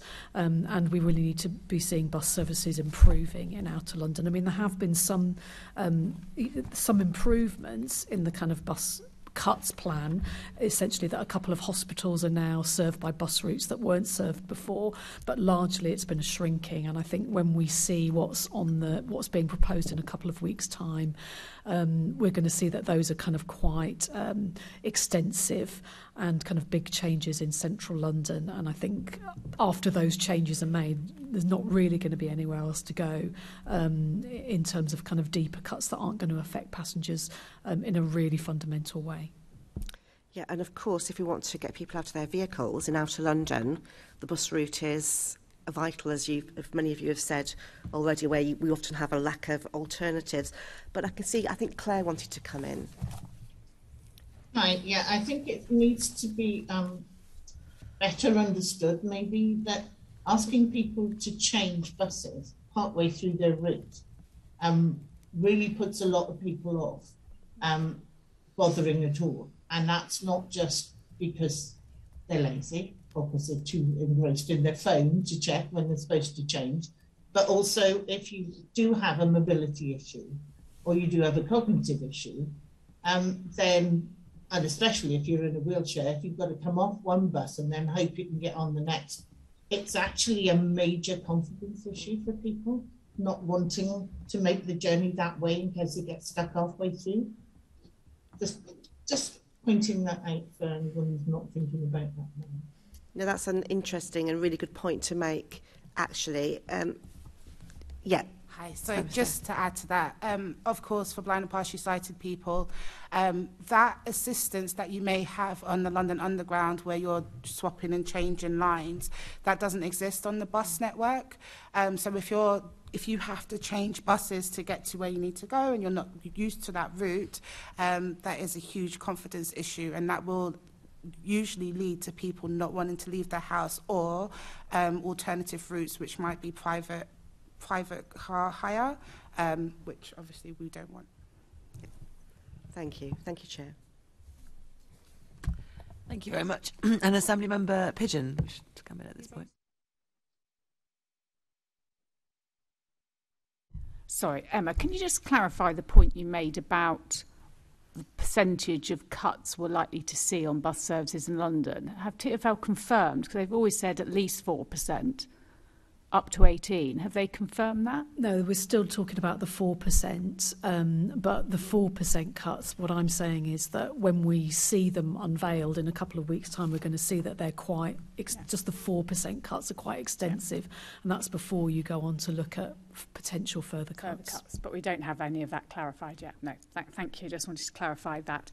Um, I wanted to, I obviously read the action plan in great detail. I have to say, lots of people have talked about the fantastic 63 bus route. Well, I'm looking at the FOI with complaints made against this new bus route with no information screen for wheelchair users, stairwell really dark, coming up lots of times, seats too high, can't see the information screen. So whilst we welcome new design and innovation, it's got to think through all of these things. But I wanted to pick up in here, and it picks up really from what you were saying, Emma, about um, bus stops and safety. Because um, in here it says having a safe and comfortable experience at bus stops as well as on buses. And um, I'm quite obsessed by graffiti at bus stops. I, I'm uh, not ashamed to say I am constantly emailing TFL about this.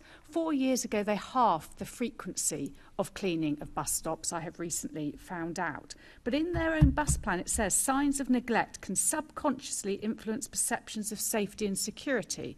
And I see that when I'm outside stations late at night, covered in graffiti, you think, I don't feel that safe here. Um, what do you think of the issue around bus stops and what more would you want to see in TFL's plan to make them safer and also feel safer um, for passengers on the network? Um, yeah, I mean, I, I agree with you, and I've heard Assembly members raise this issue before around bus stops, and it, there is something about it in the bus action plan. But you're right, that kind of overall feeling of safety um, starts at the bus stop. And of course, not all bus stops in London have iBus information, for example. So that's a that would be a key thing. You know, just knowing when your next bus is going to arrive is really important. Feeling safe at a bus stop is really important. I mean, I know some Assembly members here have talked talked about, you know, increased CCTV at bus stops could help with feelings of safety.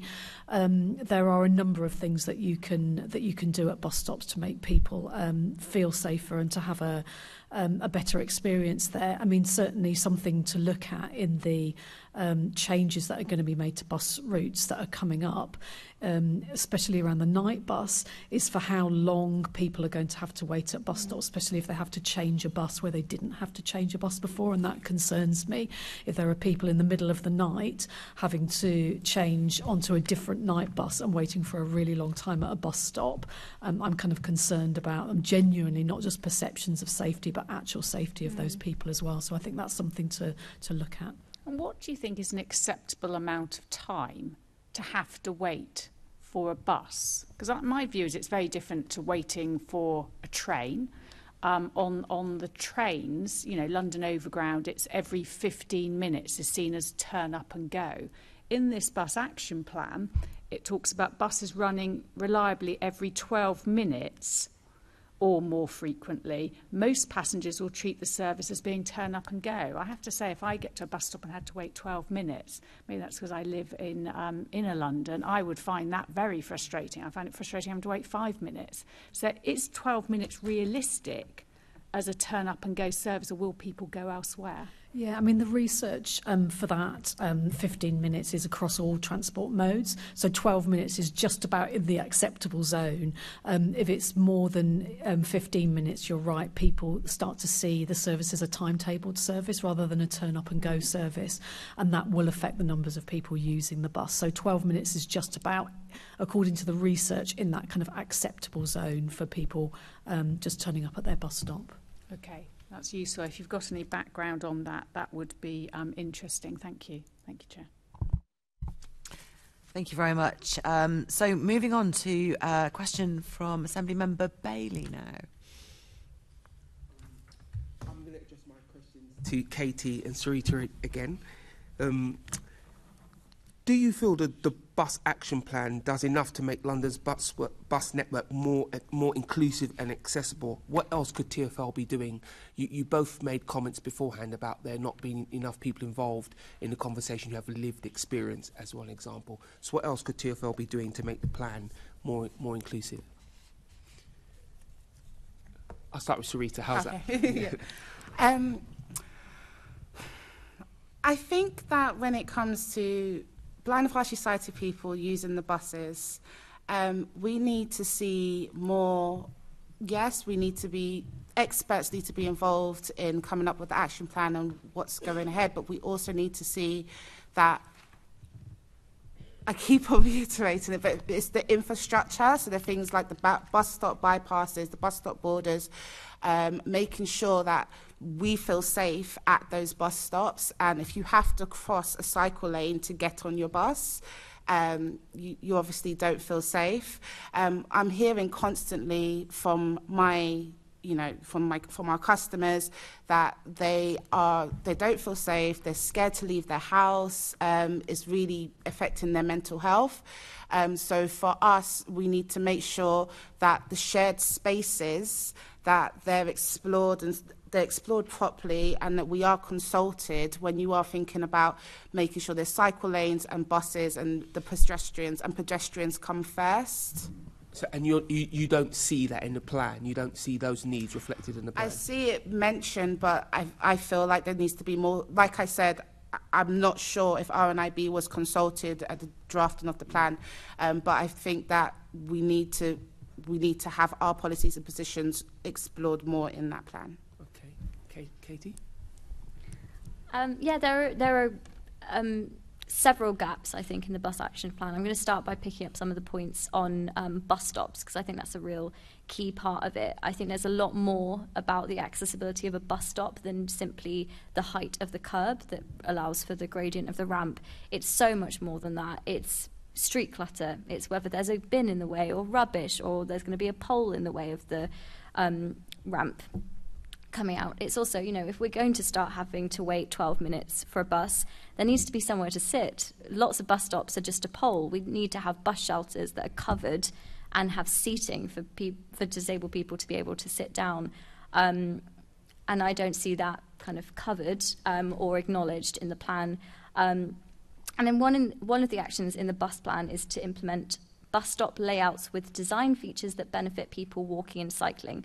Um, so obviously it's absolutely important to continue to imp- improve walking, wheeling and cycling infrastructure and we know this benefits many disabled people who use those modes. However, the interface between bus lanes and cycle lanes is a bit is a big unanswered question. So several of the designs that we see being implemented, bus stop bypasses, floating bus stops, um, any kind of variation of those um, are posing a serious danger to disabled pedestrians. So, in particular, blind and visually impaired people. Um, shared spaces often have no tactile markings and no clear delineation between walking space and cycling space. Um, and there's this reliance upon pedestrians to make eye contact with oncoming cyclists or, or indicate visually uh, that they're about to cross, which is not always possible for blind and visually impaired people. Um, so that, that puts them into danger, which is incredibly hazardous. Um, we've also seen designs where the floating bus stop is just incredibly narrow. Um, so many wheelchair users coming down the ramp will just sort of go straight into oncoming cyclists, which is obviously very dangerous as well. So I, I think much more research needs to be done um, into developing genuinely safe and accessible solutions before rolling out of a, one particular design. I suppose the question would be how how is this a, it, it, would appear from your comments it's not reflected in the plan. So how would it be reflected in the plan? And what kind of research would you be asking for? Because a comment was made earlier that a lot of money had been spent on research, and it could have been better if it included more people who were actually living this. So are all these things missing from the plan, as, as far as you can see? Well, thank you for raising that because I think that's a really important point. Um, because I think it's really encouraging to see in the bus action plan several references to inclusive design, both for bus stop. Um, bus stops and the uh, layout of the interior of, of bus vehicles. Um, but it's really, really so important for disabled experts to be a part of this process. I don't know how inclusive, I don't know the process behind developing inclusive design. I don't know what the inclusive design looks like to Transport for London. Um, but we always advocate at Transport for All for disabled experts being involved in any of those processes and crucially to be paid for their time and skills, moving yes. away from this passive model of engagement where um, you know a, a consultancy develops a particular piece of research and then disabled people are asked to provide feedback on it, providing time and expertise for free we want to see disabled people in the room co-producing solutions uh, in partnership with Transport for London, taking that pan impairment approach to include to ensure all voices are heard and ensuring that solutions work for everyone across the impairment groups. I think you're right. I think the research is more any anything that comes from the research is more impactful if, if, if disabled experts are there in the beginning. As someone as a youth worker, I, I recognise the model of free effort at the very end. Emma, did you did you want to make a comment at all? No, I just, sorry no, I just completely agree with everything that Katie said. uh, okay, thank you. I think, Chair, I'll come back to you. Thank you. I just have a quick supplementary question. Um, I think I just probably address this to Cyreeta because I know earlier on you mentioned um, the need to plan your route carefully to the bus stop. And I've been trying to look at, um, you know, as an individual assembly member, I've been trying to look at um, routes to bus stops to see if Transport for London can tell us how close crossings are to bus stops. And I've noticed a phenomenon where, you know, if I need to um, get to a bus stop that's on the other side of a road, particularly a main road, mm. the nearest crossing I have is at the nearest junction for cars. It's not necessarily in the most convenient place for me to coming off a you know a side side road or a pedestrian route to get to the other side of the road. Is there any any feedback you can give me about your the people you represent and their their issues with planning routes and finding that there's a big diversion in there? Yes. Um, so for cane users and guide dog users, you would tend to um, plan your journey, so know your neighborhood. So you would know, um, you'd memorize different, you know, where your crossings are, your, your, um, you'll know where the tactile markings are, um, best place to cross. Um, when those bus, like I mentioned earlier, if those bus, if you get to a bus stop that you've memorized and the bus is no longer in, no longer in service, it can be completely disruptive to your whole day. Um, we I think there's digital solutions as well. So things like um, using apps that can help you navigate to get to your nearest bus stop but sometimes they're not reliable. Um, and as I said before many blind partially sighted people they are digitally excluded. So you need to um, think about how we can make sure that information reaches them as well. Um, but it's just about staying consistent. So if there is a bus stop that's been there for many years, we've we've noticed a lot of our customers have come back saying that you know the bus stop they've been using for many years have changed or has been moved, um, and it completely disrupts their whole memory and their navigational um, their, their navigation that they sorry um, their navigation. Okay, that's really useful. Yeah, I mean the other thing was trying to find out where crossings are. I don't know if they're included in the maps, um, but certainly we tried to find out. Um, how far away each bus stop was from a crossing, and this wasn't information that, that Transport for London actually held. Yeah, I don't. I use apps, and I that information is not there. So you mm. just kind of have to continue walking until you feel the ta- feel tactile marking, so you know that there is a crossing. Yeah. Um, so yeah, if that information was there, that would be very helpful. But right now, I don't think it is. Katie, you've got your hand up. Yeah, I. Oh gosh, I forgot to unmic myself. Um, yeah, I absolutely agree with everything that you've said, um, and I think just pointing towards some recent recent research done by Motability back in 2020 found that close to half, uh, 45% of disabled people that they surveyed felt that they can't travel spontaneously uh, due to the need to thoroughly plan each journey. So we know that planning journeys is incredibly important to disabled people. Um, but that process is completely hindered by the lack of information that is, is available. There, uh, beyond the kind of ETAs of next buses, there is so much more information that could be provided that would be so useful, such as walking distances to bus stops, where the nearest bus stop is in relation to crossings. That is really important information that must exist and must be communicated to disabled passengers other things that would be really useful, crowdedness levels on buses. Um, we are starting to see that more on trains now. Let's put that on buses as well. That would be so useful.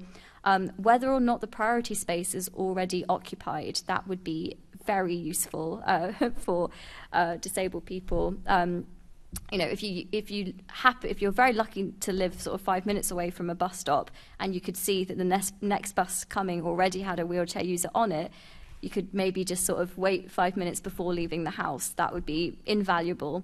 Um, and then there's also something around the specific design of the vehicle. So, I mean, there are over 30 different models of a vehicle in circulation in London. Um, and multiple different ones are in use in the same route. So if you're stood at a bus stop and you're waiting for the number 17, you don't know if the bus gonna, it, that will pull up is the vehicle with the specific design that you personally like and find accessible, or whether actually the floor is a bit higher, the lip is a bit bigger, and the ramp is a bit steeper, and you find that in, inaccessible. It can turn into a bit of a Russian roulette situation where you don't know until the bus comes whether you're going to be able to get on it or not. They are all technically accessible, they all meet the standard, but everyone's individual needs are different, and everyone's individual needs, you know, people can do different things. Um, that's exactly the sort of information that could very easily be communicated um, to passengers. And kind of looking towards the rail industry, um, there are plans to create this open data marketplace allowing for passenger information such as crowdedness levels, availability of seats, detail of disruptions, all of this, availability of uh, facilities, um, and making that data kind of open source, um, preparing for the future of mobility as a service platforms. Um, I would love to see that sort of model implemented on the bus network as well. Can I just add one point yep. to that as well Yep. in terms of information? Um, when you think about bus stops, there's a real gap of information for blind and partially sighted people because the real-time information, the ETA, is completely missed if you if you have no sight. Um, there should be some kind of audio audio to tell you what buses come in and how long you have to wait. Um, to my knowledge, that doesn't exist in any bus stops at, at this point, and I didn't see anything mentioning that in the bus action plan. Um, you can have digital solutions, as I keep mentioning, but a lot of our customers are not um, used to digital solutions as well. Thank you very much, and, and thank you, Katie, as, as well. I think I think you're right. Um, there is this information out there. They know exactly which bus is coming, don't they? Somewhere in the system, and they could turn that into open source. And the other beauty about open source data is that then, you know, the people man. Sometimes sometimes bus stops are controlled by councils, so they could make use of that open source data and provide the audio and the more accessible solutions if they want it. Um, Joanne, you have your hand up, and, um, and afterwards, I think we'll move on to the next section. But Yeah, it. it was just on that last point actually. Is there anywhere that does have talking bus stops in effect? Um, I'm not aware of anywhere that has talking bus stops. However, I am aware that in some regions um, they use an app called NaviLens. And NaviLens is basically just a QR code that you can scan and it tells you all the information that you need. Um, like I said, that's not for everybody because not everyone is um, able is digitally included. Um, but another solution as well for people with some useful vision is to have eye level display screens. So having it on top is useless. um, so I, I have been to some bus stops. Um, for Edgware bus station has eye level bus information, and that's very helpful. Um, but to my knowledge, I, don't know any bus stops that have audio description. Thank you. Yeah, and I'll call for evidence. I think we might ask a few people to, to let us know. I'm, I'm sure I've seen that in a bus station somewhere, but not at a bus stop. There did used to be a pilot. There was a pilot in the past where you had something that you waved over something at the stop and it read it out to you. I can't Mm. remember what it was, so we might want to see Yeah, what's exactly. happened to Um, that. Thank you very much. Um, Claire Walters also has a hand up, I think, on the same point. Uh, yeah, thank you. Um, just quickly, I know there are uh, talking bus stops in Japan. Don't imagine anybody would be terribly surprised by that. Um, the technology exists and um, it doesn't make sense not to have it. The other point I've always wondered is we have um, audio on buses that tells you what the next stop is, but it doesn't tell you if the bus is stopping. And I would have thought, frankly, that would be helpful to drivers if you haven't got people ringing the bell 14 times because they don't know it's stopping. And particularly if you've got a visual impairment, then it would be quite nice to know and be confident that the bus is planning to stop, given everywhere in London's a request stop nowadays. Um, and the only other thing I would um, I haven't seen in the plan is the point that came up briefly earlier, which is where you have um, timetable information on the R- RTO screens rather than um, transponder-led information, so real-time information. And the timetable information is generally not reliable, so it just counts down and then disappears. Bad information is worse than no information at all. So if you can't provide proper real-time information, please don't use timetable information. It doesn't help anybody if the bus doesn't exist. Thank you very much, Claire. I think that was a really interesting discussion because I think a lot of what we're talking about there isn't just accessibility; it's just genuinely about quality of service and, and things you might expect for any any customer. Um, so yeah, moving on to um, another type of quality. Um, Assembly Member Garratt is going to talk about speeds and reliability. Hello. Yeah, I think we've perhaps touched on this a bit already, but um, about the measures in the bus action plan to improve journey times and connections. So I don't know if you want to start with that, Emma, but wh- whether you think, you know, we've heard a lot about the issues, whether you think the, the plan in the bus action plan is going to uh, address those about the speed and about the connections, which of course is also a speed factor from the passenger's point of view. Yeah, absolutely. Yeah, I mean, the, as I've said before, the focus on bus journey times is really welcome, um, but will require really good collaboration with the boroughs, which hasn't been happening as well as it should do up until now. And TFL admit that, and I think they are committed to improving that situation. Um, in terms of connectivity, um, in the the part of that's got the slowest kind of delivery time in the bus action plan. Um, so that is of obviously you can't do everything at once, but it is of concern, and we hope that maybe if more funding could come into TFL, um, that they might be able to accelerate that bit a bit more. That's around kind of improving connections between buses and between buses and other modes of um, transport. Um, but essentially, you know, we're pretty kind of confident um, about what's in the bus action plan, as long as the money can be found to do it. And we also really appreciate the emphasis on the bus network being part of an integrated public transport system. So this TFL's kind of whole corridor approach to planning for the bus, cycling and walking improvements jointly um, we think is going to be really beneficial for, for the bus but for other users um, as well. So it's really good to see the bus being fully and firmly recognised as part of um, active travel.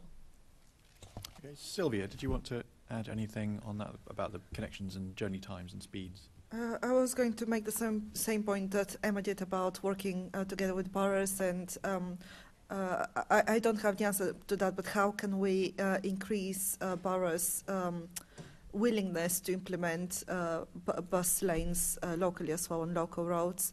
Uh, it, it's a much bigger question about road space allocation and prioritizing of public transport uh, ahead of uh, private cars and um, private vehicles. Um, obviously, with uh, the provision of um, maintaining provision to a certain extent for, for everyone.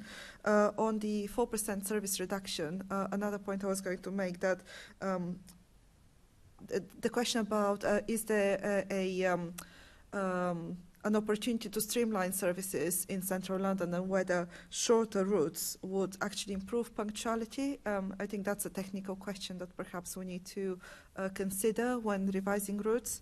Uh, so avoiding too much overlap in central London uh, and um, enabling that uh, sort of process of streamlining, uh, and, and, then perhaps that would enable uh, greater investment in, in routes where in those underserved areas.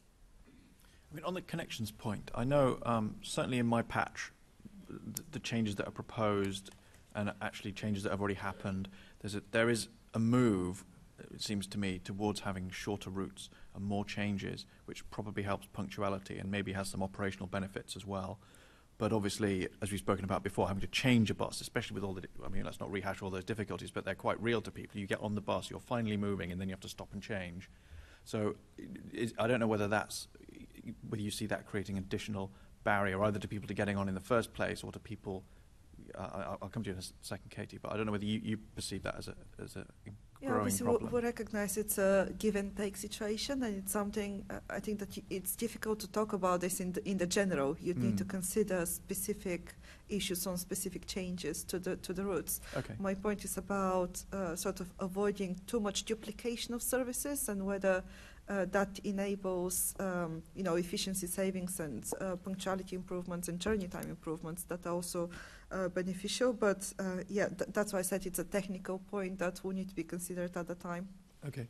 Sorry, Katie, were you indicating to say something on that or? Just a really quick point. There are obviously accessibility barriers, which we've already discussed around uh, connections. But one thing that can be changed is to ensure that if there absolutely must be a change of bus, that that bus ha- change happens at the same bus stop. Rather than requiring people to walk further down, identify another bus stop, often crossing a road, which is far more difficult and inaccessible.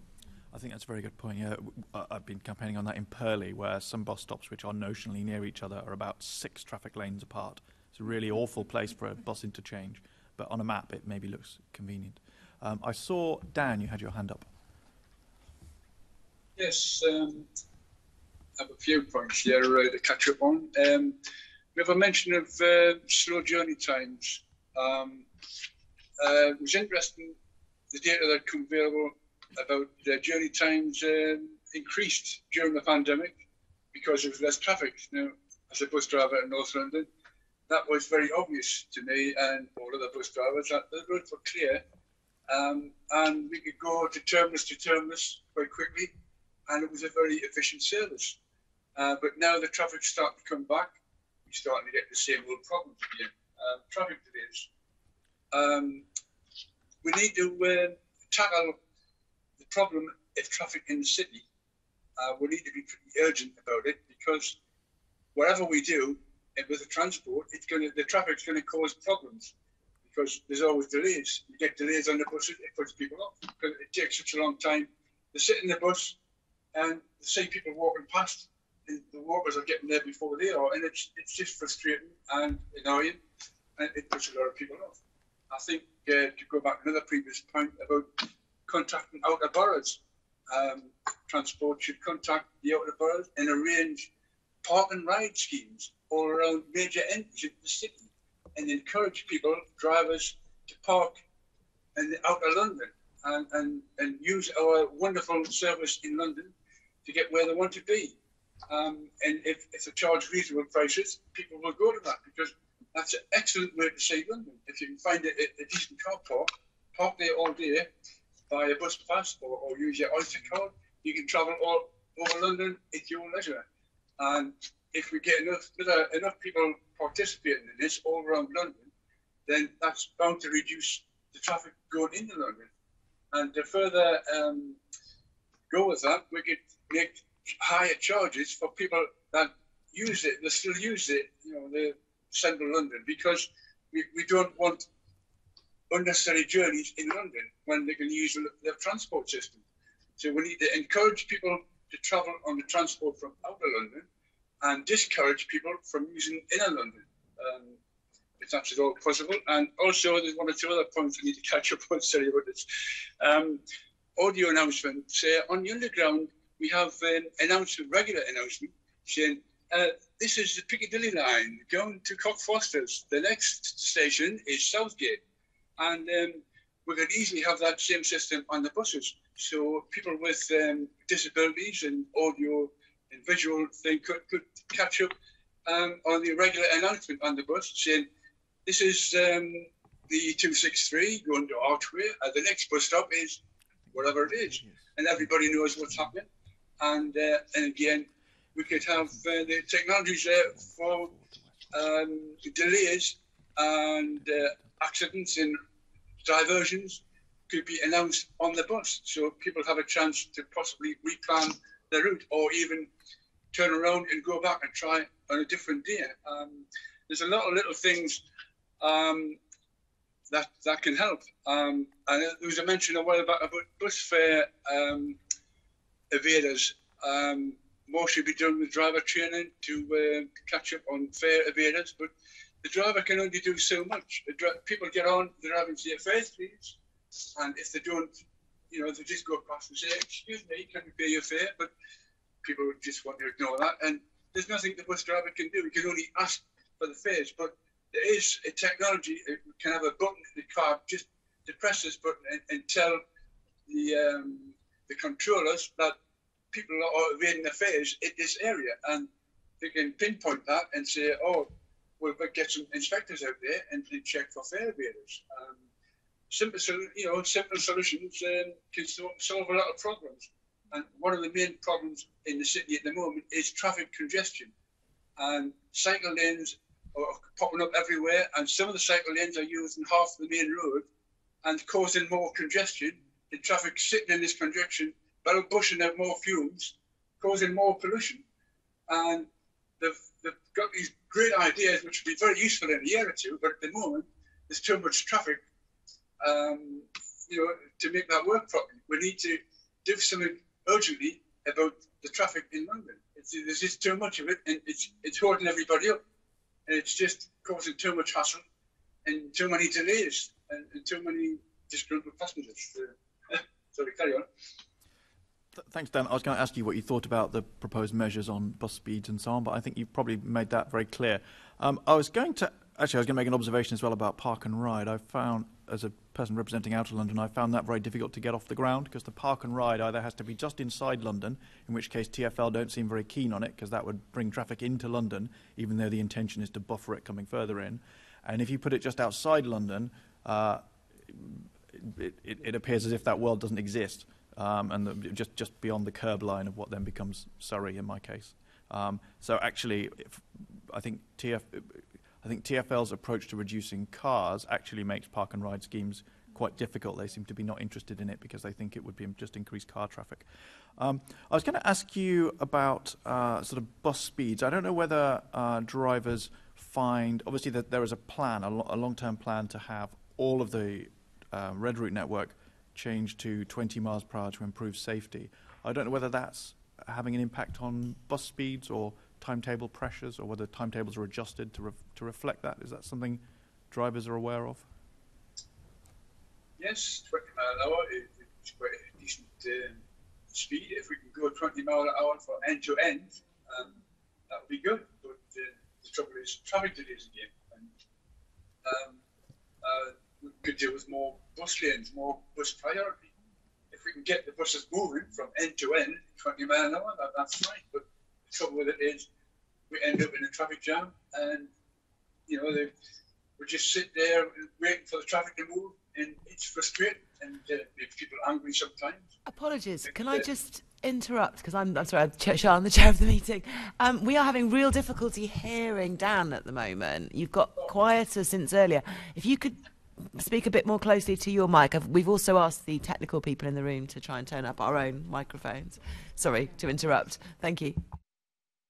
Yeah, okay, yeah, that's uh, the accent doesn't help me. That is um, from the north, the northern accent, but I'll try my best.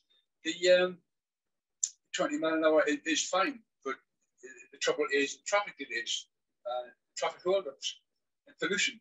And at the moment, uh, these cycle lanes that have popped up uh, generally aren't working too well in some areas, and they're causing more traffic pollution because traffic, you know, are building up and stuck in these traffic jams. Uh, and pollution, there's just more pollution from the traffic. It's just not working in some areas. But uh, anyway, um, yeah, carry on. Thanks, Dan. If there's any consolation, I can hear perfectly clearly what you're saying in your, your actions, no problem at all. Um, I was just going to ask uh, the other. Um, sorry, Cyreeta. I don't think you, I don't know whether you wanted to add anything to um, the issue about, about connections and so on. Or I think we did speak about that before. Whether you had anything you wanted to add. Um, no, like I said before, um, that would deter a lot of blind partially sighted people from taking a journey if they find they have to change, especially as mentioned by Katie, if you have to cross the road mm. or go around the corner. It's also the little things like if you have to find the bus stop and the bus stop, you know, your, your TFL app go, um, TFL Go app says to go to bus stop A, but the bus stop A is at the top of a pole that mm. you just can't see if you even if you if you have useful vision. So it's just about those little barriers which will just make you either not go, take the train, or take a private car. Okay, thank, thank you very much think that was it, Chair. Thanks very much. Thank you very much. Um, so handing over now to um, Assembly Member Sheikh. Uh, welcome to the committee also um, as a new member um, for some more questions about um, the services and the changes. Um, thank you very much, Chair. Uh, and it's great to be joining the committee um, and congratulations on being elected Chair. Uh, thank you so much for what has been an incredibly informative discussion so far, whether that's commenting on the effects of the pandemic, um, the National Bus Strategy, or indeed the Bus Action Plan. I've found it really useful to hear from each and every one of you, and I've learned so much. Um, I guess what I wanted to do was kind of, uh, I feel like we've sort of discussed the bus action plan fairly substantially now and kind of move us more into the evaluative territory of the changes that we've seen um, to you know bus services in the past year that I'm sure many of your organisations are more than aware of, whether that's to do with bus routes or frequencies. Um, and I think sort of many of the questions we've asked have kind of picked up this question, but maybe we could use this as an opportunity to either add to what you've already said or even summarise the key points. But what we wanted to ask was from the people that you work with um, and that you represent, from your experience, have these changes um, improved or worsened bus services? Um, so I don't know if anyone wants to jump in or if I should sort of start with one end of the panel and go to the other. Cyreeta, why don't I start with you and make my way from left to right? Um, so from what I've heard, um, my the people I represent are not happy at all. Um, uh, the, one of the biggest complaints I get from my London Action Group, which is a group of volunteers representing four different boroughs in London, um, that when the bus route bus routes are being changed almost on a weekly basis, um, this information is not being told to them. If the information is out there, it's not in a format that is accessible um, and also the infrastructure. So as I mentioned before, bus stops being um, created in shared spaces without any tactile markings um, and without a curve. Um, that's really affecting my the people I represent. Um, it's a complaint I get at least once um, a month. Um, so and it does it covers majority of the um, work I do, basically inclusive journeys. So yes. Um, thank you very much for that, Cyreeta. So just to echo, not echo, sort of summarise your point, is, is the frequency of bus routes changing and the format in which they are communicated is something that's been a consistent problem? Yes. Okay, thank you for that. Um, can I pass over to yourself, Emma? Yes, hello there. Um, yeah, so there have been about 60 bus routes that have had their frequencies reduced in the last year. Um, and this is going to be, you know, those are the smaller changes, if you like. There are much kind of bigger ones on the horizon as a result of these 4% cuts to bus routes. We find we find that um, people who use the bus are harder to reach than other people who are using other kinds of modes of transport. Um, but we did ask our digital community in November last year about whether they'd been affected by the cuts in the frequencies at that time. And we didn't receive a large response, but people told us that some of the bus routes are more crowded and they were having to wait for longer gaps between buses, as you know, as people here have said, um, you know, can be really difficult for some groups more than others. Um, I mean, we understand why TFL are having to make those changes and reductions to bus routes because of their finances.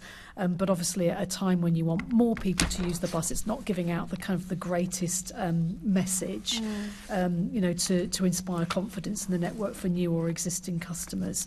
Um, but as I said as well, there have been some positive changes um, with new bus connections to uh, to local hospitals in Stanmore and Finchley, for example. So there have been some cuts, but some extensions, and those have been really, um, really welcome as well. But I think the bulk of the changes to the bus network are are just over the hill, unfortunately. And so, yeah, by the time of your next session, you'll know a lot more about those. Thank you very much. And I do appreciate, um, Silviya, you sort of putting, I guess, the changes in the context of the sort of funding um, situation with TFL and the need for the government to kind of offer that longer term secure funding deal in order to be able to ensure that we have a kind of more coherent strategy. So I think that context is always is always useful. Um, but yeah, certainly hear the comments about having longer waiting time between bus journeys. Um, but thank you for also commenting on the Stanmore and Finchley examples of improved services. Uh, Silviya, if I could just move on to you. Uh, I don't have any more specific points to make about uh, bus route and frequency reviews. Uh, perhaps another one to add is the review of um, emergency um, road, road space allocation uh, schemes uh, in, in, terms of pedestrian and cycling infrastructure uh, points um, and whether these are being reviewed uh, consistently um, and um, sort of to a sufficient extent. So I know, for example, of um, uh, examples where the pavement space was um, widened, but, but for a very short section of the road, and you have this sort of wider base that pedestrians don't tend to use anymore. Uh, as a cyclist, um, I, have encountered these several times, and they sort of push the cyclist into the main traffic lane and in front of buses And I had uh, actually an accident last last week where the brakes on the Santander bike were not strong enough, and I was sort of um, had to stop because I was uh, coming to another cyclist, but then the bus was behind me, and that was quite a dangerous situation. So whether these um, sort of very short pedestrian bays are being reviewed frequently enough in order to uh, allocate for the best amount of space for all uh, road users as well. Mm -mm. Thank you, because I can appreciate that's actually quite a significant change that's going to probably increase. And have you had any feedback specifically from the people that your organisation works with on road space allocation, how they've been affected by it? Uh, we, we don't have direct uh, sort of um, passenger representatives, mm -hmm. um, you know, that we survey regularly, uh, but um, uh, so not specifically, no. Okay, thank you. Um, and Katie, just on to you.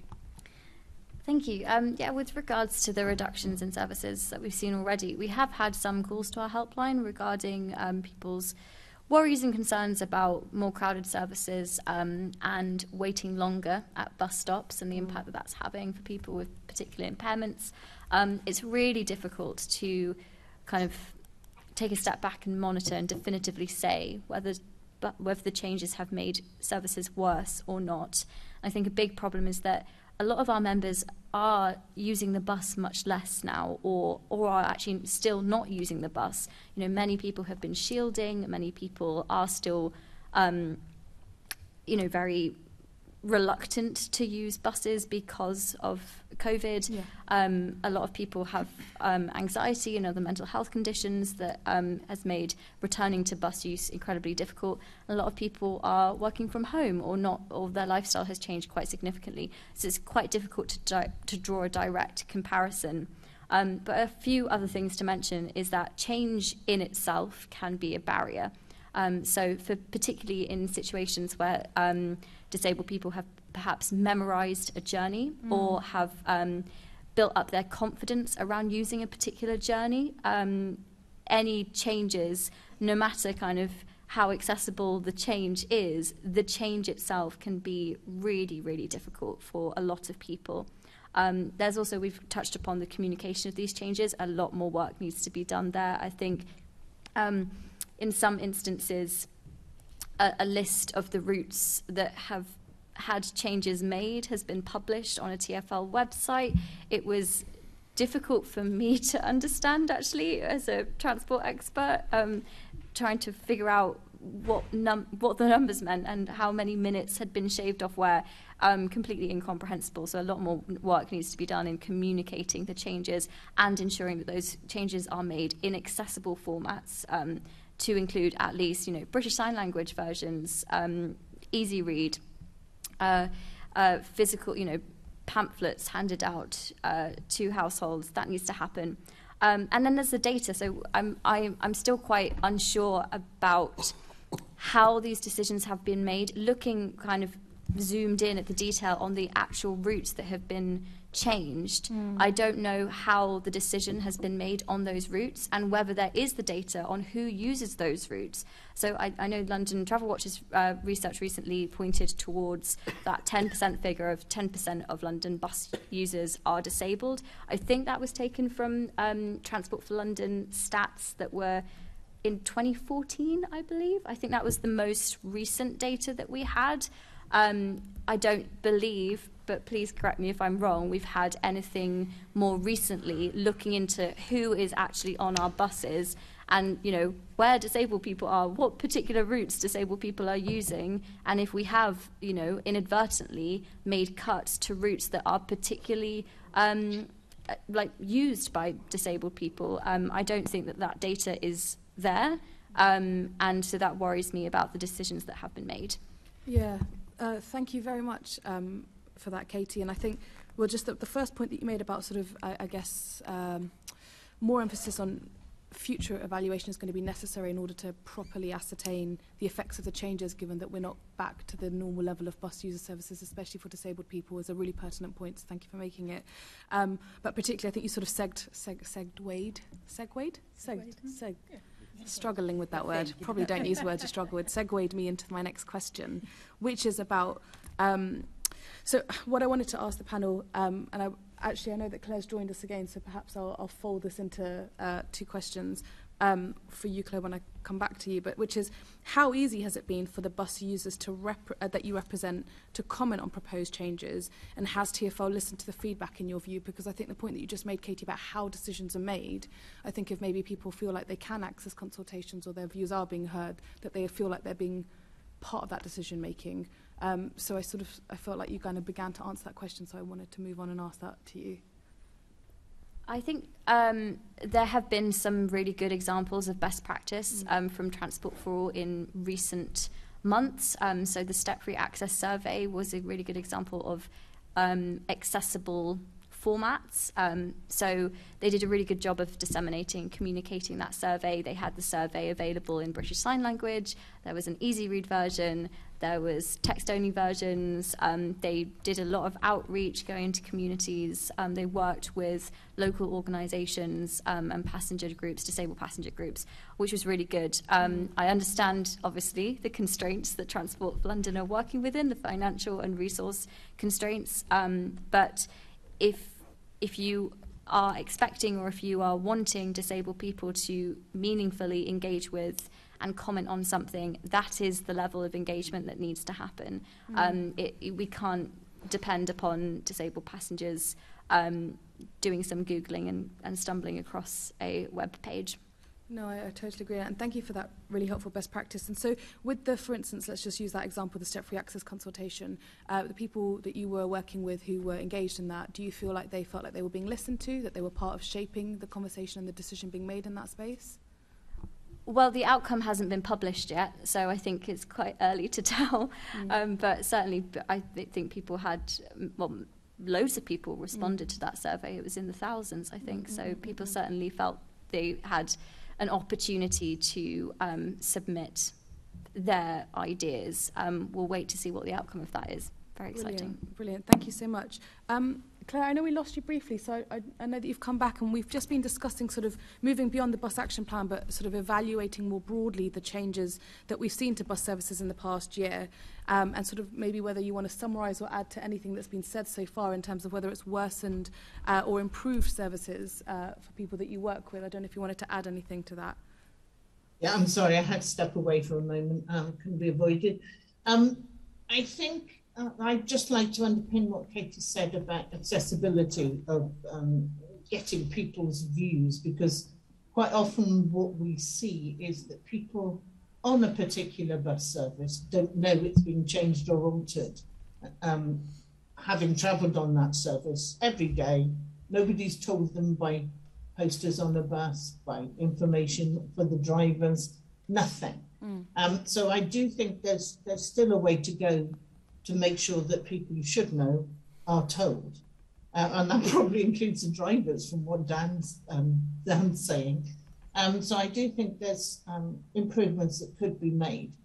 In terms of whether a consultation is listened to, um, I think it depends on what's already been decided, if I'm brutally honest. And we only have to go back, well, it's going back quite a while now, I suppose, to 2014, when the decision to withdraw cash from buses um, was taken. A consultation was put out. It was overwhelmingly, the, the public voted no, do not withdraw cash.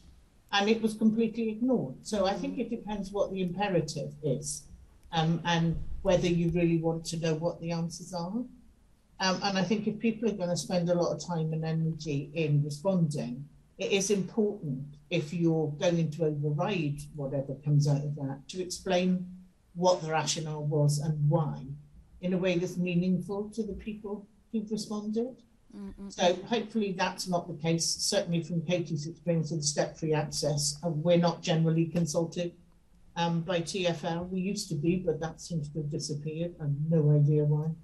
Um, maybe because we keep making awkward points, I don't know. Um, I do think it's important that the people on the services specifically affected are told in a much less digital way, so invited by people who go onto the buses and say, Can you tell me what you think about this?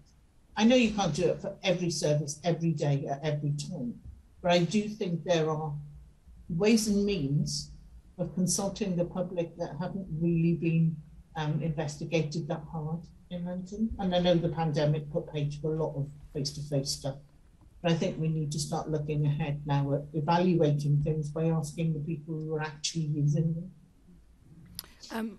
Um, sorry, was that the end of your set? I think that was. Thank you. That was really, really helpful, and I, I couldn't agree more. I think there's consistently ways and means of improving uh, forms of consultation that go even beyond, for instance, specifically to do with transport strategy. And I think some of the points that Katie's been making have been really pertinent about co-production um, and how, how you engage people in, in, in co-creating uh, decisions rather than sort of commenting on what can sometimes feel like premeditated. So we sort of had examples of good and bad forms of consultation. And I just wondered if Emma uh, uh, or anyone else, or Sil Silviya or um, Cyreeta wanted to comment further on this. Yeah, please. Um, so we were, um, so yeah, London Truck. We have, as I've alluded to before, bus passengers can be less vocal than, for example, rail passengers, and so it can be quite hard. You have to work quite hard, I think, to to really engage them in consultations about their bus services. Um, and we certainly have seen TFL listening to feedback from the last um, range of bus cuts. So, for example, there were proposed changes in the kind of archway Highgate area. Um, and as a result of feedback that members of the public gave, um, TFL changed their plans there. So I think that they do listen, but I think the problem is getting the feedback in in the first place. Um, and certainly we met with TFL last week to talk about how they were going to consult on this, these range of bus changes, cuts that are on the horizon.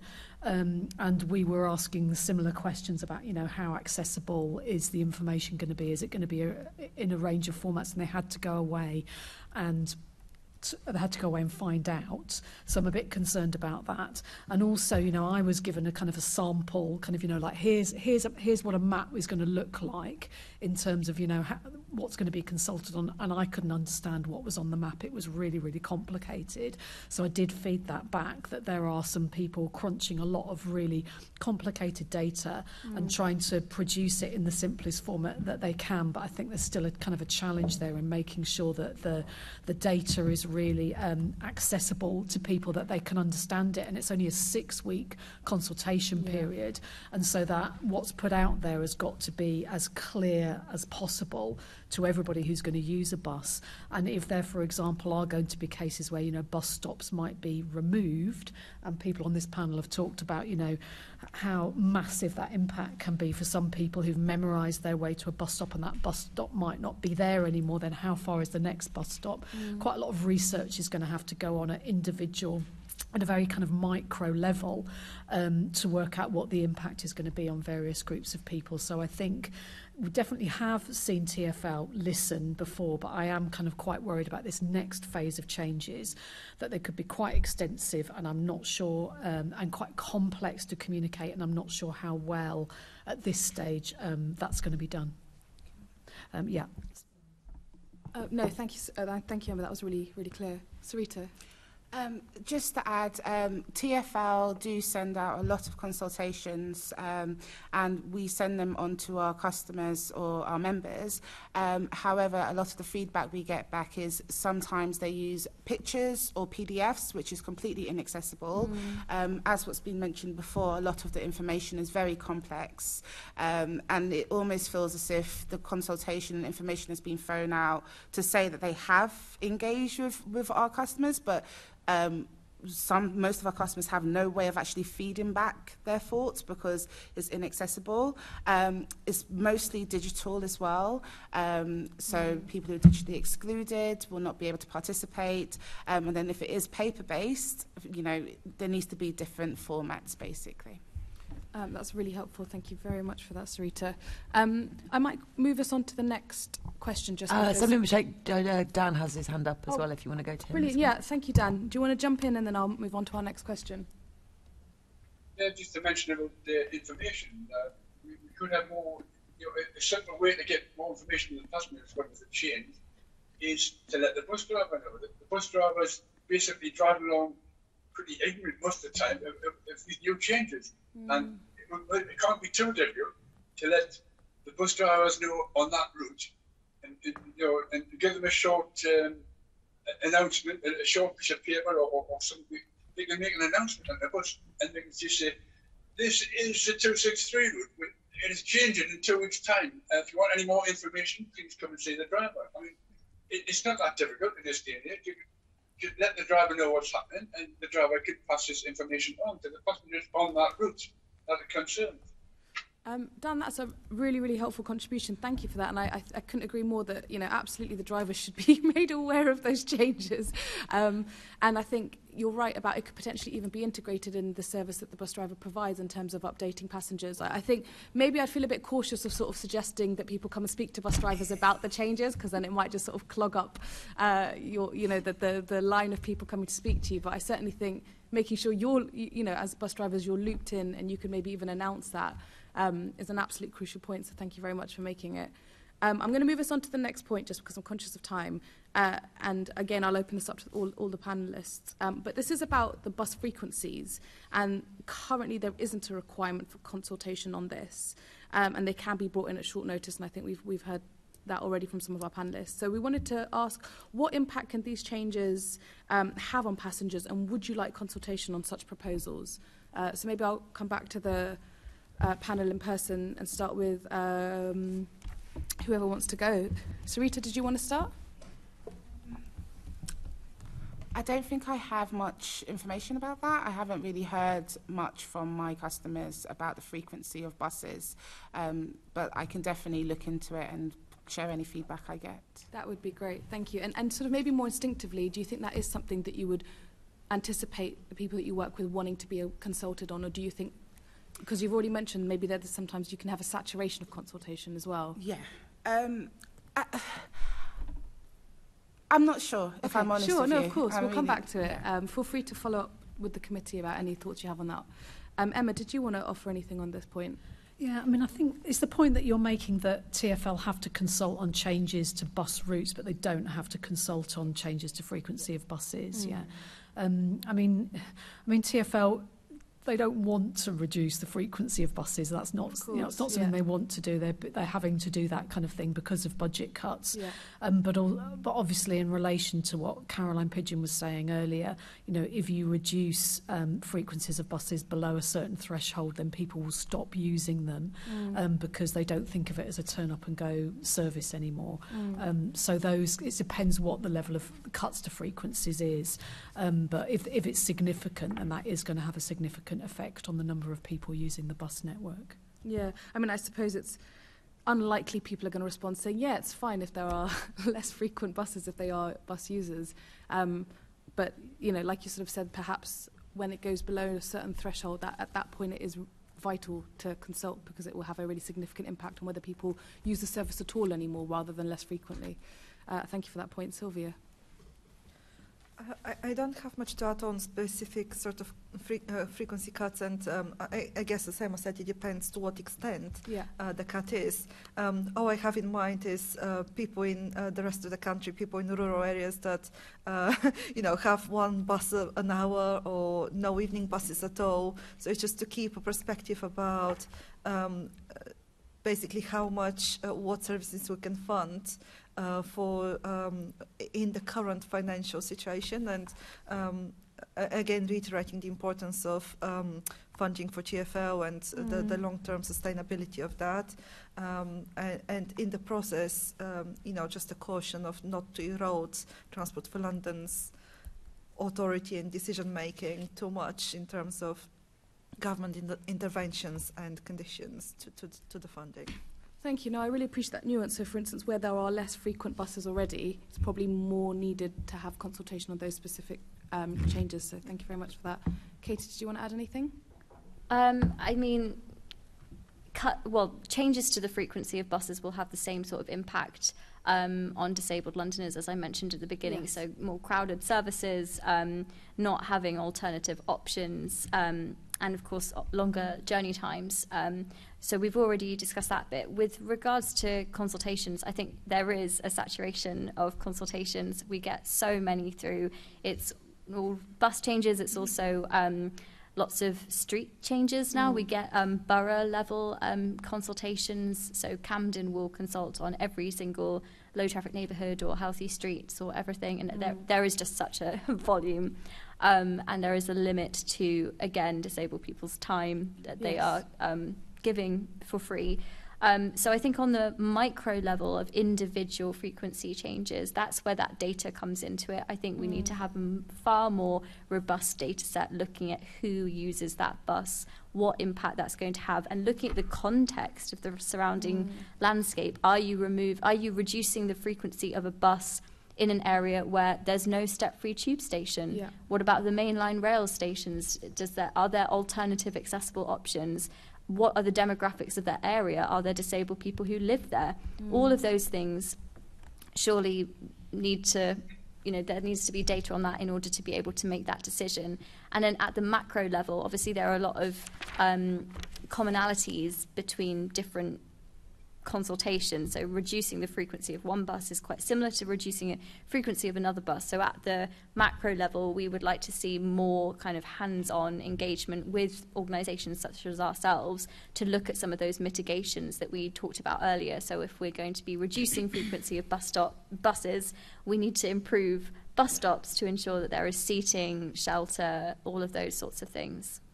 Very, very helpful contribution. Thank you, Katie. Um, Claire or Dan, is there anything you wanted to add before I wrap up on this point? Both of you got your hands up, so I'll take that as a yes. Who's going to jump in first? Go on, Dan. Yeah, okay. The, um, if buses have to be, you know, the service has to be reduced frequency because of funding issues, then I think the least you can do is put extra bus or buses on in the rush hour so not too many people are left behind. I mean, the reduced service might work reasonably well through the daytime, but in the rush hour times, they might struggle to cope with passengers and a lot of people might be left behind. Um, and I think it's only sensible to uh, put extra buses on in the hour. Thank you. I appreciate that feedback, and it kind of builds on the point I think that the panel will be making around the kind of uh, context of whether you consult on frequency in terms of where that might where those changes might be, who uses those services, what time those services are going to be. So thank you for adding to that point. Um, and Claire, finally. Yeah, I mean, I don't know that I've got much new to add there, but I yes, I'd underpin everything um, that pretty much everybody said. Um, I think the the context is important because, like Silviya, we get lots of people who have two hourly services, one hourly service. Hmm. So a, a reduction of service really completely throws the whole thing into impossibility. Um, and I think it's a question of scale. Um, and I also agree with the idea of, of whether or not it's going to impact significantly in an area which doesn't have much in the way of options, Mm. uh, particularly if you've got mobility issues. But I, I come back to the same point where you need to consult the people directly affected, who are the ones who are already using that service. Brilliant. Thank you. And if you don't actually talk to the people on the bus, then you're not going to know what their what their reaction is. Yeah, context and data seems to be everything when it comes to deciding about consultations on frequencies. Thank you very much. I'll pass back over to the chair. Thank you very much. Um, and over to Assembly Member Pidgeon for a question. Okay, I'm very conscious of time. Um, we've already had lots of points raised. Are there any other gaps that you think there are in the bus action plan? If there aren't any, don't worry. But if there are any that haven't been mentioned today that you wanted to mention, I'm looking round our speakers. Silviya. Thank you. Uh, one point that I haven't had a chance to mention is about ticketing and multimodal ticketing. Um, I appreciate it would be a difficult thing to consider in the current funding situation, but um, are there uh, people I, I think are being disadvantaged if they're using the bus as a first and last mile for journeys that they're making on the tube? Uh, so the Hopper fare has been very good at um, making it um, cheaper and um, sort of fair on people that need to change between buses. But if you need to take the bus to get to a tube station and then take a bus again uh, at the other end, it really adds to the costs of uh, a journey overall. So is there an option where if you need to take a connecting bus at the end of your tube journey, it's counted as a hopper fare, for example?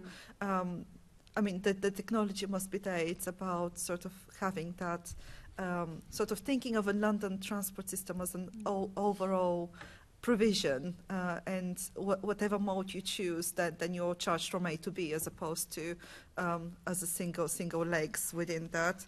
Uh, and I think I made the point about regulating the service and Yeah. having. Um, re reducing the impact on people waiting uh, mm. at the bus just because uh, it's ahead of time. I appreciate there's a difficulty about um, people, uh, a bus being too early and having sort of bunched up services, uh, but, but in a um, sort of non uh, on a turn up and go uh, situation, I mean, that, that's something where uh, perhaps we can iron out the service at, at, at each end of yeah. the journey. So ticketing. Um, Emma. Yeah, just one final things around because I got the number 63 bus, the fabled, lovely 63 bus with its... Um, or not so lovely, to well, yeah, according um, to some. But the two times I got it, I was stuck in a traffic jam on Blackfriars Bridge for 10 minutes because there are some kind of long-term construct, construction or roadworks there.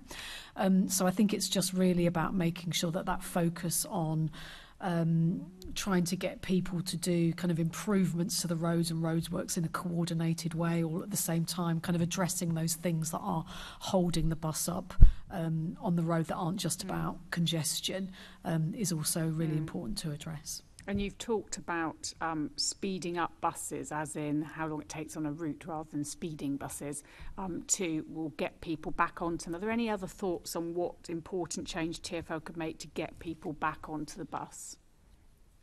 Don't worry if not, because we've had a good discussion. I'll let you think about that. I just wanted to throw in maybe Emma or Silviya could answer this. In the bus action plan, it just references towards the back the um, demand responsive bus trials that took place in Sutton and Ealing. And the Sutton one I used a few times and experience I know particularly people with learning difficulties found it as a really good way of being able to use buses in a way they didn't feel with the main sort of bus fleet. Um, do you think they have an important role to play as part of the wider bus network in London? Silviya?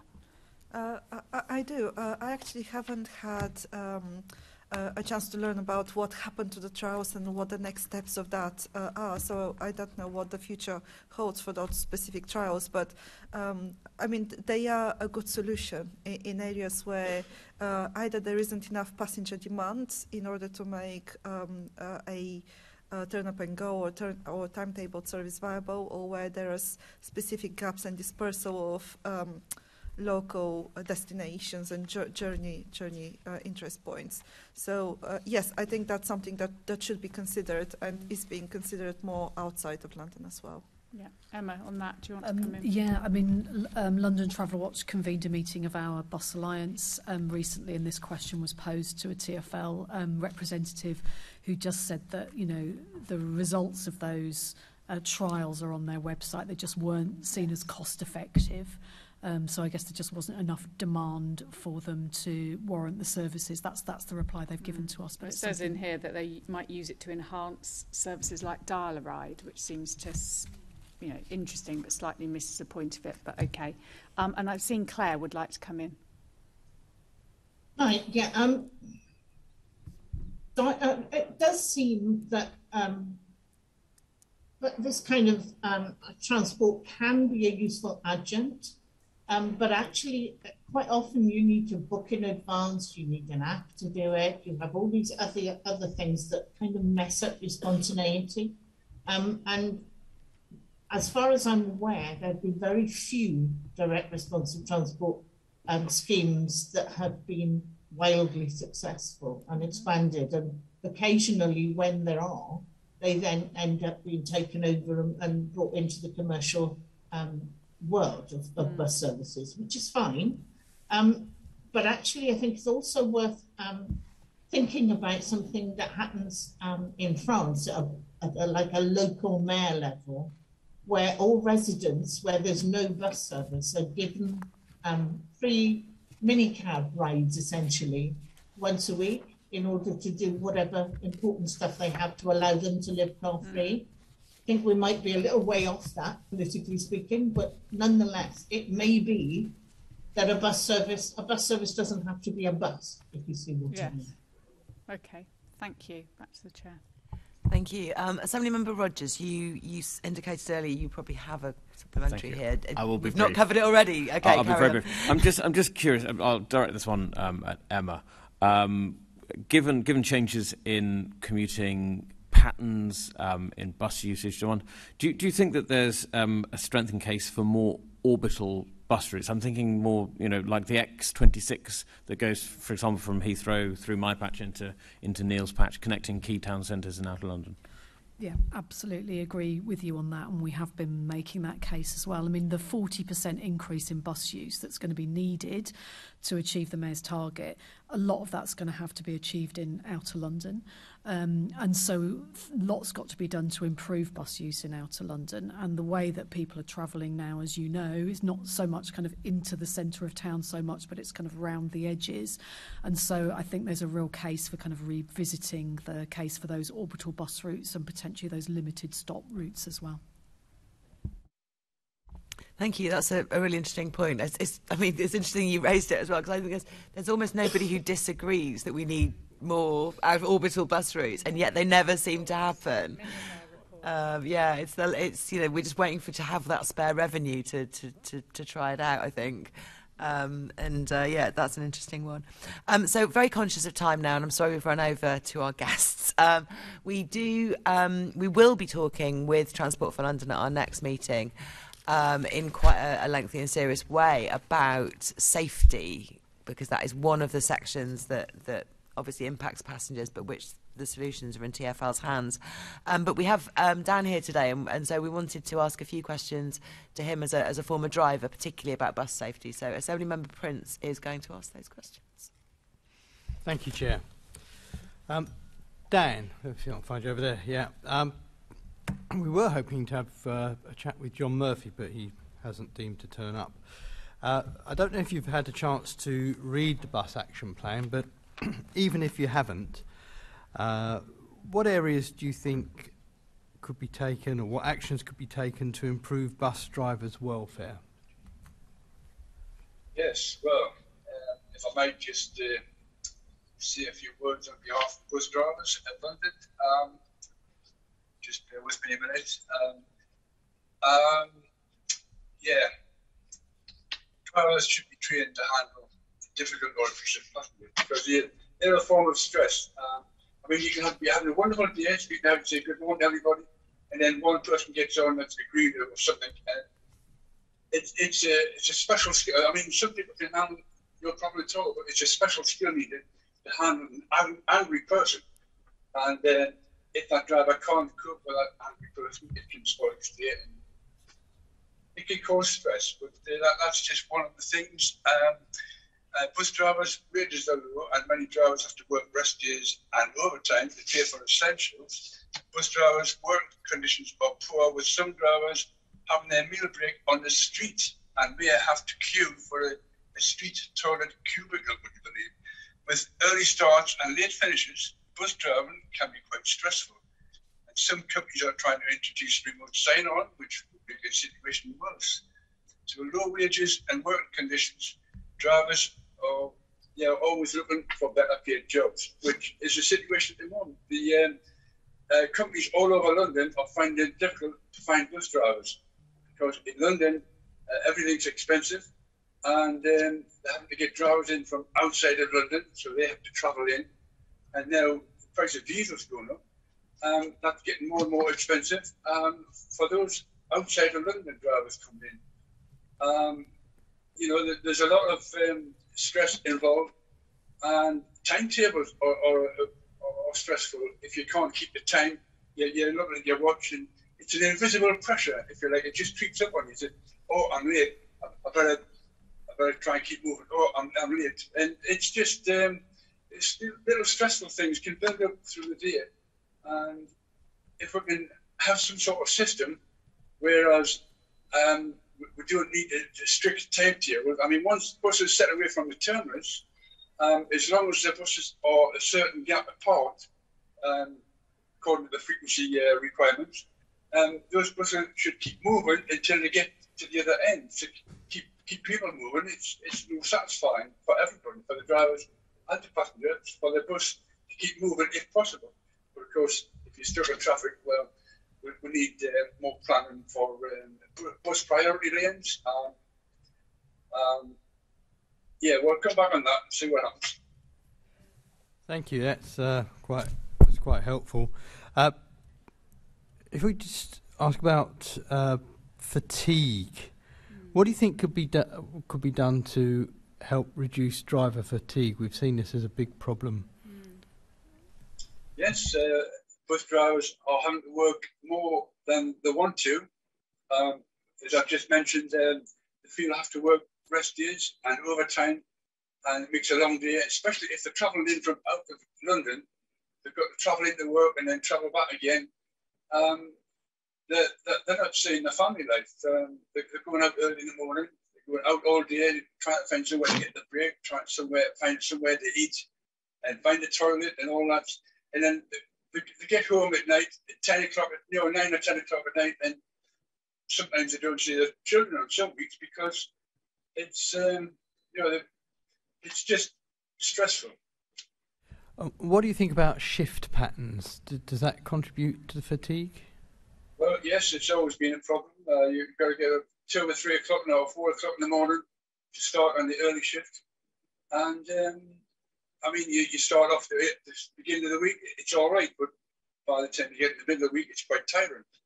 And if you think yeah, you've got to work overtime as well, that's that's very stressful and tiring and could cause fatigue.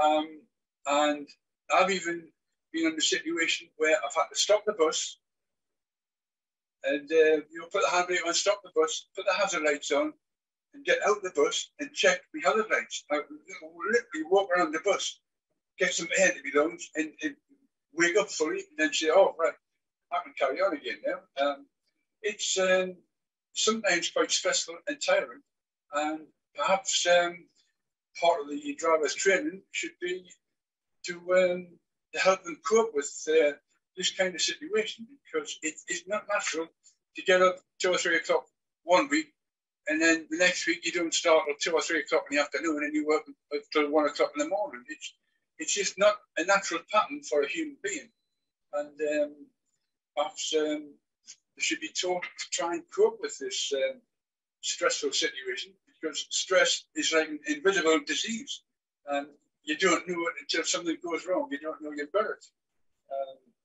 stress it is not good for anybody.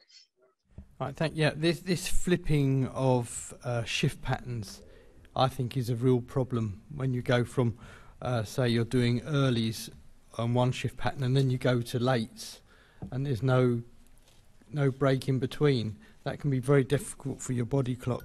Um, what advice does the uh, the bus garage give you in relation to if you're feeling really tired, if you're feeling fatigued? For me, uh, sometimes I get that after after lunch or something, and I, I, just need five ten minutes just to to sort myself out and have a like, power nap for five ten minutes. What um, what what do the bus companies give you advice if you're feeling uh, if you're feeling a bit fatigued? Do they give you any advice on that at all? Well, in general form is, um, oh, are you feeling ill, driver? Do you need to go home? Do you need to go off sick? Um, uh, we, we, need to get this bus out. It, you know, we're, we're, trying to keep the bus on time, but the, the, there's more pressure put on them to, to make a move. But uh, uh, if they say, well, I'm not feeling very well, I need I need a few minutes to have a cup of tea and recover, then you know, you, will have to tell them, well, I'm just not well enough to go out. Um, you'll have to put somebody else on it, or if there's nobody else available, which is often the case, uh, that bus will just have to go missing. But it's it's not a, a straightforward uh, situation. The drivers are, are, generally, I mean, they're not forced, but they're generally put under pressure to, uh, to try and keep the service going, uh, which is understandable. But I suppose it, it's up to the driver to make his case clear. And if he's not well, then he should stop and, and have a cup of tea and then decide whether he needs to go sick or, or, or not, as the case may be. All right, but there's no actual guidance as such. You can't just say, "Look, I need another five minutes or I need ten minutes at the end of the route," because sometimes, from the evidence I've heard in the past, and I'm not putting words into your mouth, but uh, you get to the end of the route, but because you're so far behind, you really don't get the the break that you should get, and you have to turn it round straight away. I mean, are, are there is there any advice or that you're given to say, well, yes, you should do that if you can, but if you actually do need that five or ten minutes just to to de-stress, to just recover, uh, what, what's the bus? What's the advice you're getting on that? Well, um, you're, you're quite right. That, that happens quite frequently when the traffic delays or, you know, holding the bus up. You get the terminus late and they might call you, the controller might call you up on the radio and say, Dan, um, um, service is running a bit late in front. Can you, can you go to a quick turnaround and just go straight out again? And, um, well, I mean, the experienced drivers will say, well, I'm, I'm not feeling um, full of energy at the moment. I've, it's been a long day and I'm tired and I need two or three minutes to recover. I need to, to get up this seat, have a walk around to check the bus, and then and then I'll be ready to go again. So it's, it's really down to the driver. The, the driver is put under this invisible pressure, if you like, uh, to try and keep the service going on time. But if you can't, it's up to the driver to say, well, look, I need I need me two or three or four minutes, whatever, to recover from from that last journey. Um, it, it's really all down to the driver to communicate with the controller and, and tell them the situation. Uh, some drivers are all right. They say, all right, yes, I'm fine with that. I'll turn around and go straight out again. And um, quite often, uh, if you're if you're a fit and healthy person, then I mean, but I think a bus driver should be fit and healthy. I, I always try to keep myself fit and healthy. If I, if I was all right, I would say, well, okay, I'll uh, I'll just do uh, what I've got to do. I'll change the destination, put me, uh, do me right, in the, uh, you know, the uh, any lost mileage, and then I'll, I'll, go straight out. But some new drivers might feel under pressure to go straight out rather than have a break if they're feeling tired. They don't want to come out and admit it. It's it's, uh, it's all down to communication, really, um, and it's usually down to the driver to say, well, look, I can go straight out for you, or no, no, I can't go straight out. I've got to have a two or three minutes to recover. I've got to, got to get up, get some ambulance, and it, it's all down to the driver. There's just invisible pressure to keep the service going, and if the driver doesn't say anything, then it's assumed that he's all right. He can keep going. Okay, I'm I'm getting a, a very clear picture that um, you. Sorry, mate. I'm getting a very clear picture that. Um, you are under extreme pressure at times. Um, could I? Have you ever had the misfortune, I phrase it that way, of being on a route where there's no toilets? Yes, um, I've had to inquire uh, controller or, or driver. Um, we, we can't find any targets around you moment. Can you continue until you get such and such? Well, well, you know the situation. If you've been waiting for a long time, you need to go. You, you need to go. Um, and sometimes you just have to, you, you know there's a toilet there, you just have to park the bus and say, sorry about the delay, folks. I just, I just have to go to the toilet. I just have to park the bus up, put the hazard lights on, and go. But uh, you don't always get the help that you need um, from the controllers. And some routes, um, it, it's difficult to find a toilet even when you're on your break. Um, you, you, might find a, a toilet cubicle one of these metal structures, you know, a, a small cubicle and a small hand wash basin. And sometimes that's all you have to prepare yourself for the start of your break. And then sometimes you have to find somewhere to have your break, uh, a, a, short meal or a, couple of sandwiches or, or whatever. It's sometimes finding the toilet can be a problem, which can add to the stress again. Uh, not wanting to go into any great detail, but uh, what what advice do the bus company give you if they know that you're on a route that doesn't have toilets provided? What do they suggest you do? You generally suggest you find your own toilet and your own time, or you, you try and keep the service going. But um, but if you have to go, you have to. Yeah, it's up to the driver again to communicate and tell them, well, I found a toilet and I need to go. I'll have to have. I'll have to take a toilet break. And use a message on the iBus system you can you can send a message and let them know you, have to have a toilet break. But not always drivers um, take advantage of that. Um, the, the feel this invisible pressure, if you like, that they must keep the service going. It, there's nobody forced to do this, but sometimes it, it sends, you know, it seems to end up that way. Uh, if you know what I mean. Just very quick, is is that do you like leave the bus with passengers on it then when you go for the toilet break if it's not scheduled? Well, not usually, but if you've got no other options, then you might be forced or may feel forced into doing that. Um, okay, okay, thank you. Um, one other point. how much priority do you think uh, that the bus companies give to actual safety and and do they give you training on safety? Do they uh, say that? Um, again, I don't want to try and put words in, but did do they say that you know safety is paramount and that okay if if the bus is running five minutes late, that's okay because safety is priority. How much priority do they give to safety? How many times have they sat you down and said, right, you know, safety's our number one issue, vision zero, oh, and, and also perhaps you could throw this in to save a bit of time. What have they told you about Vision Zero? Sorry, Vision Zero. Can you uh, expand that?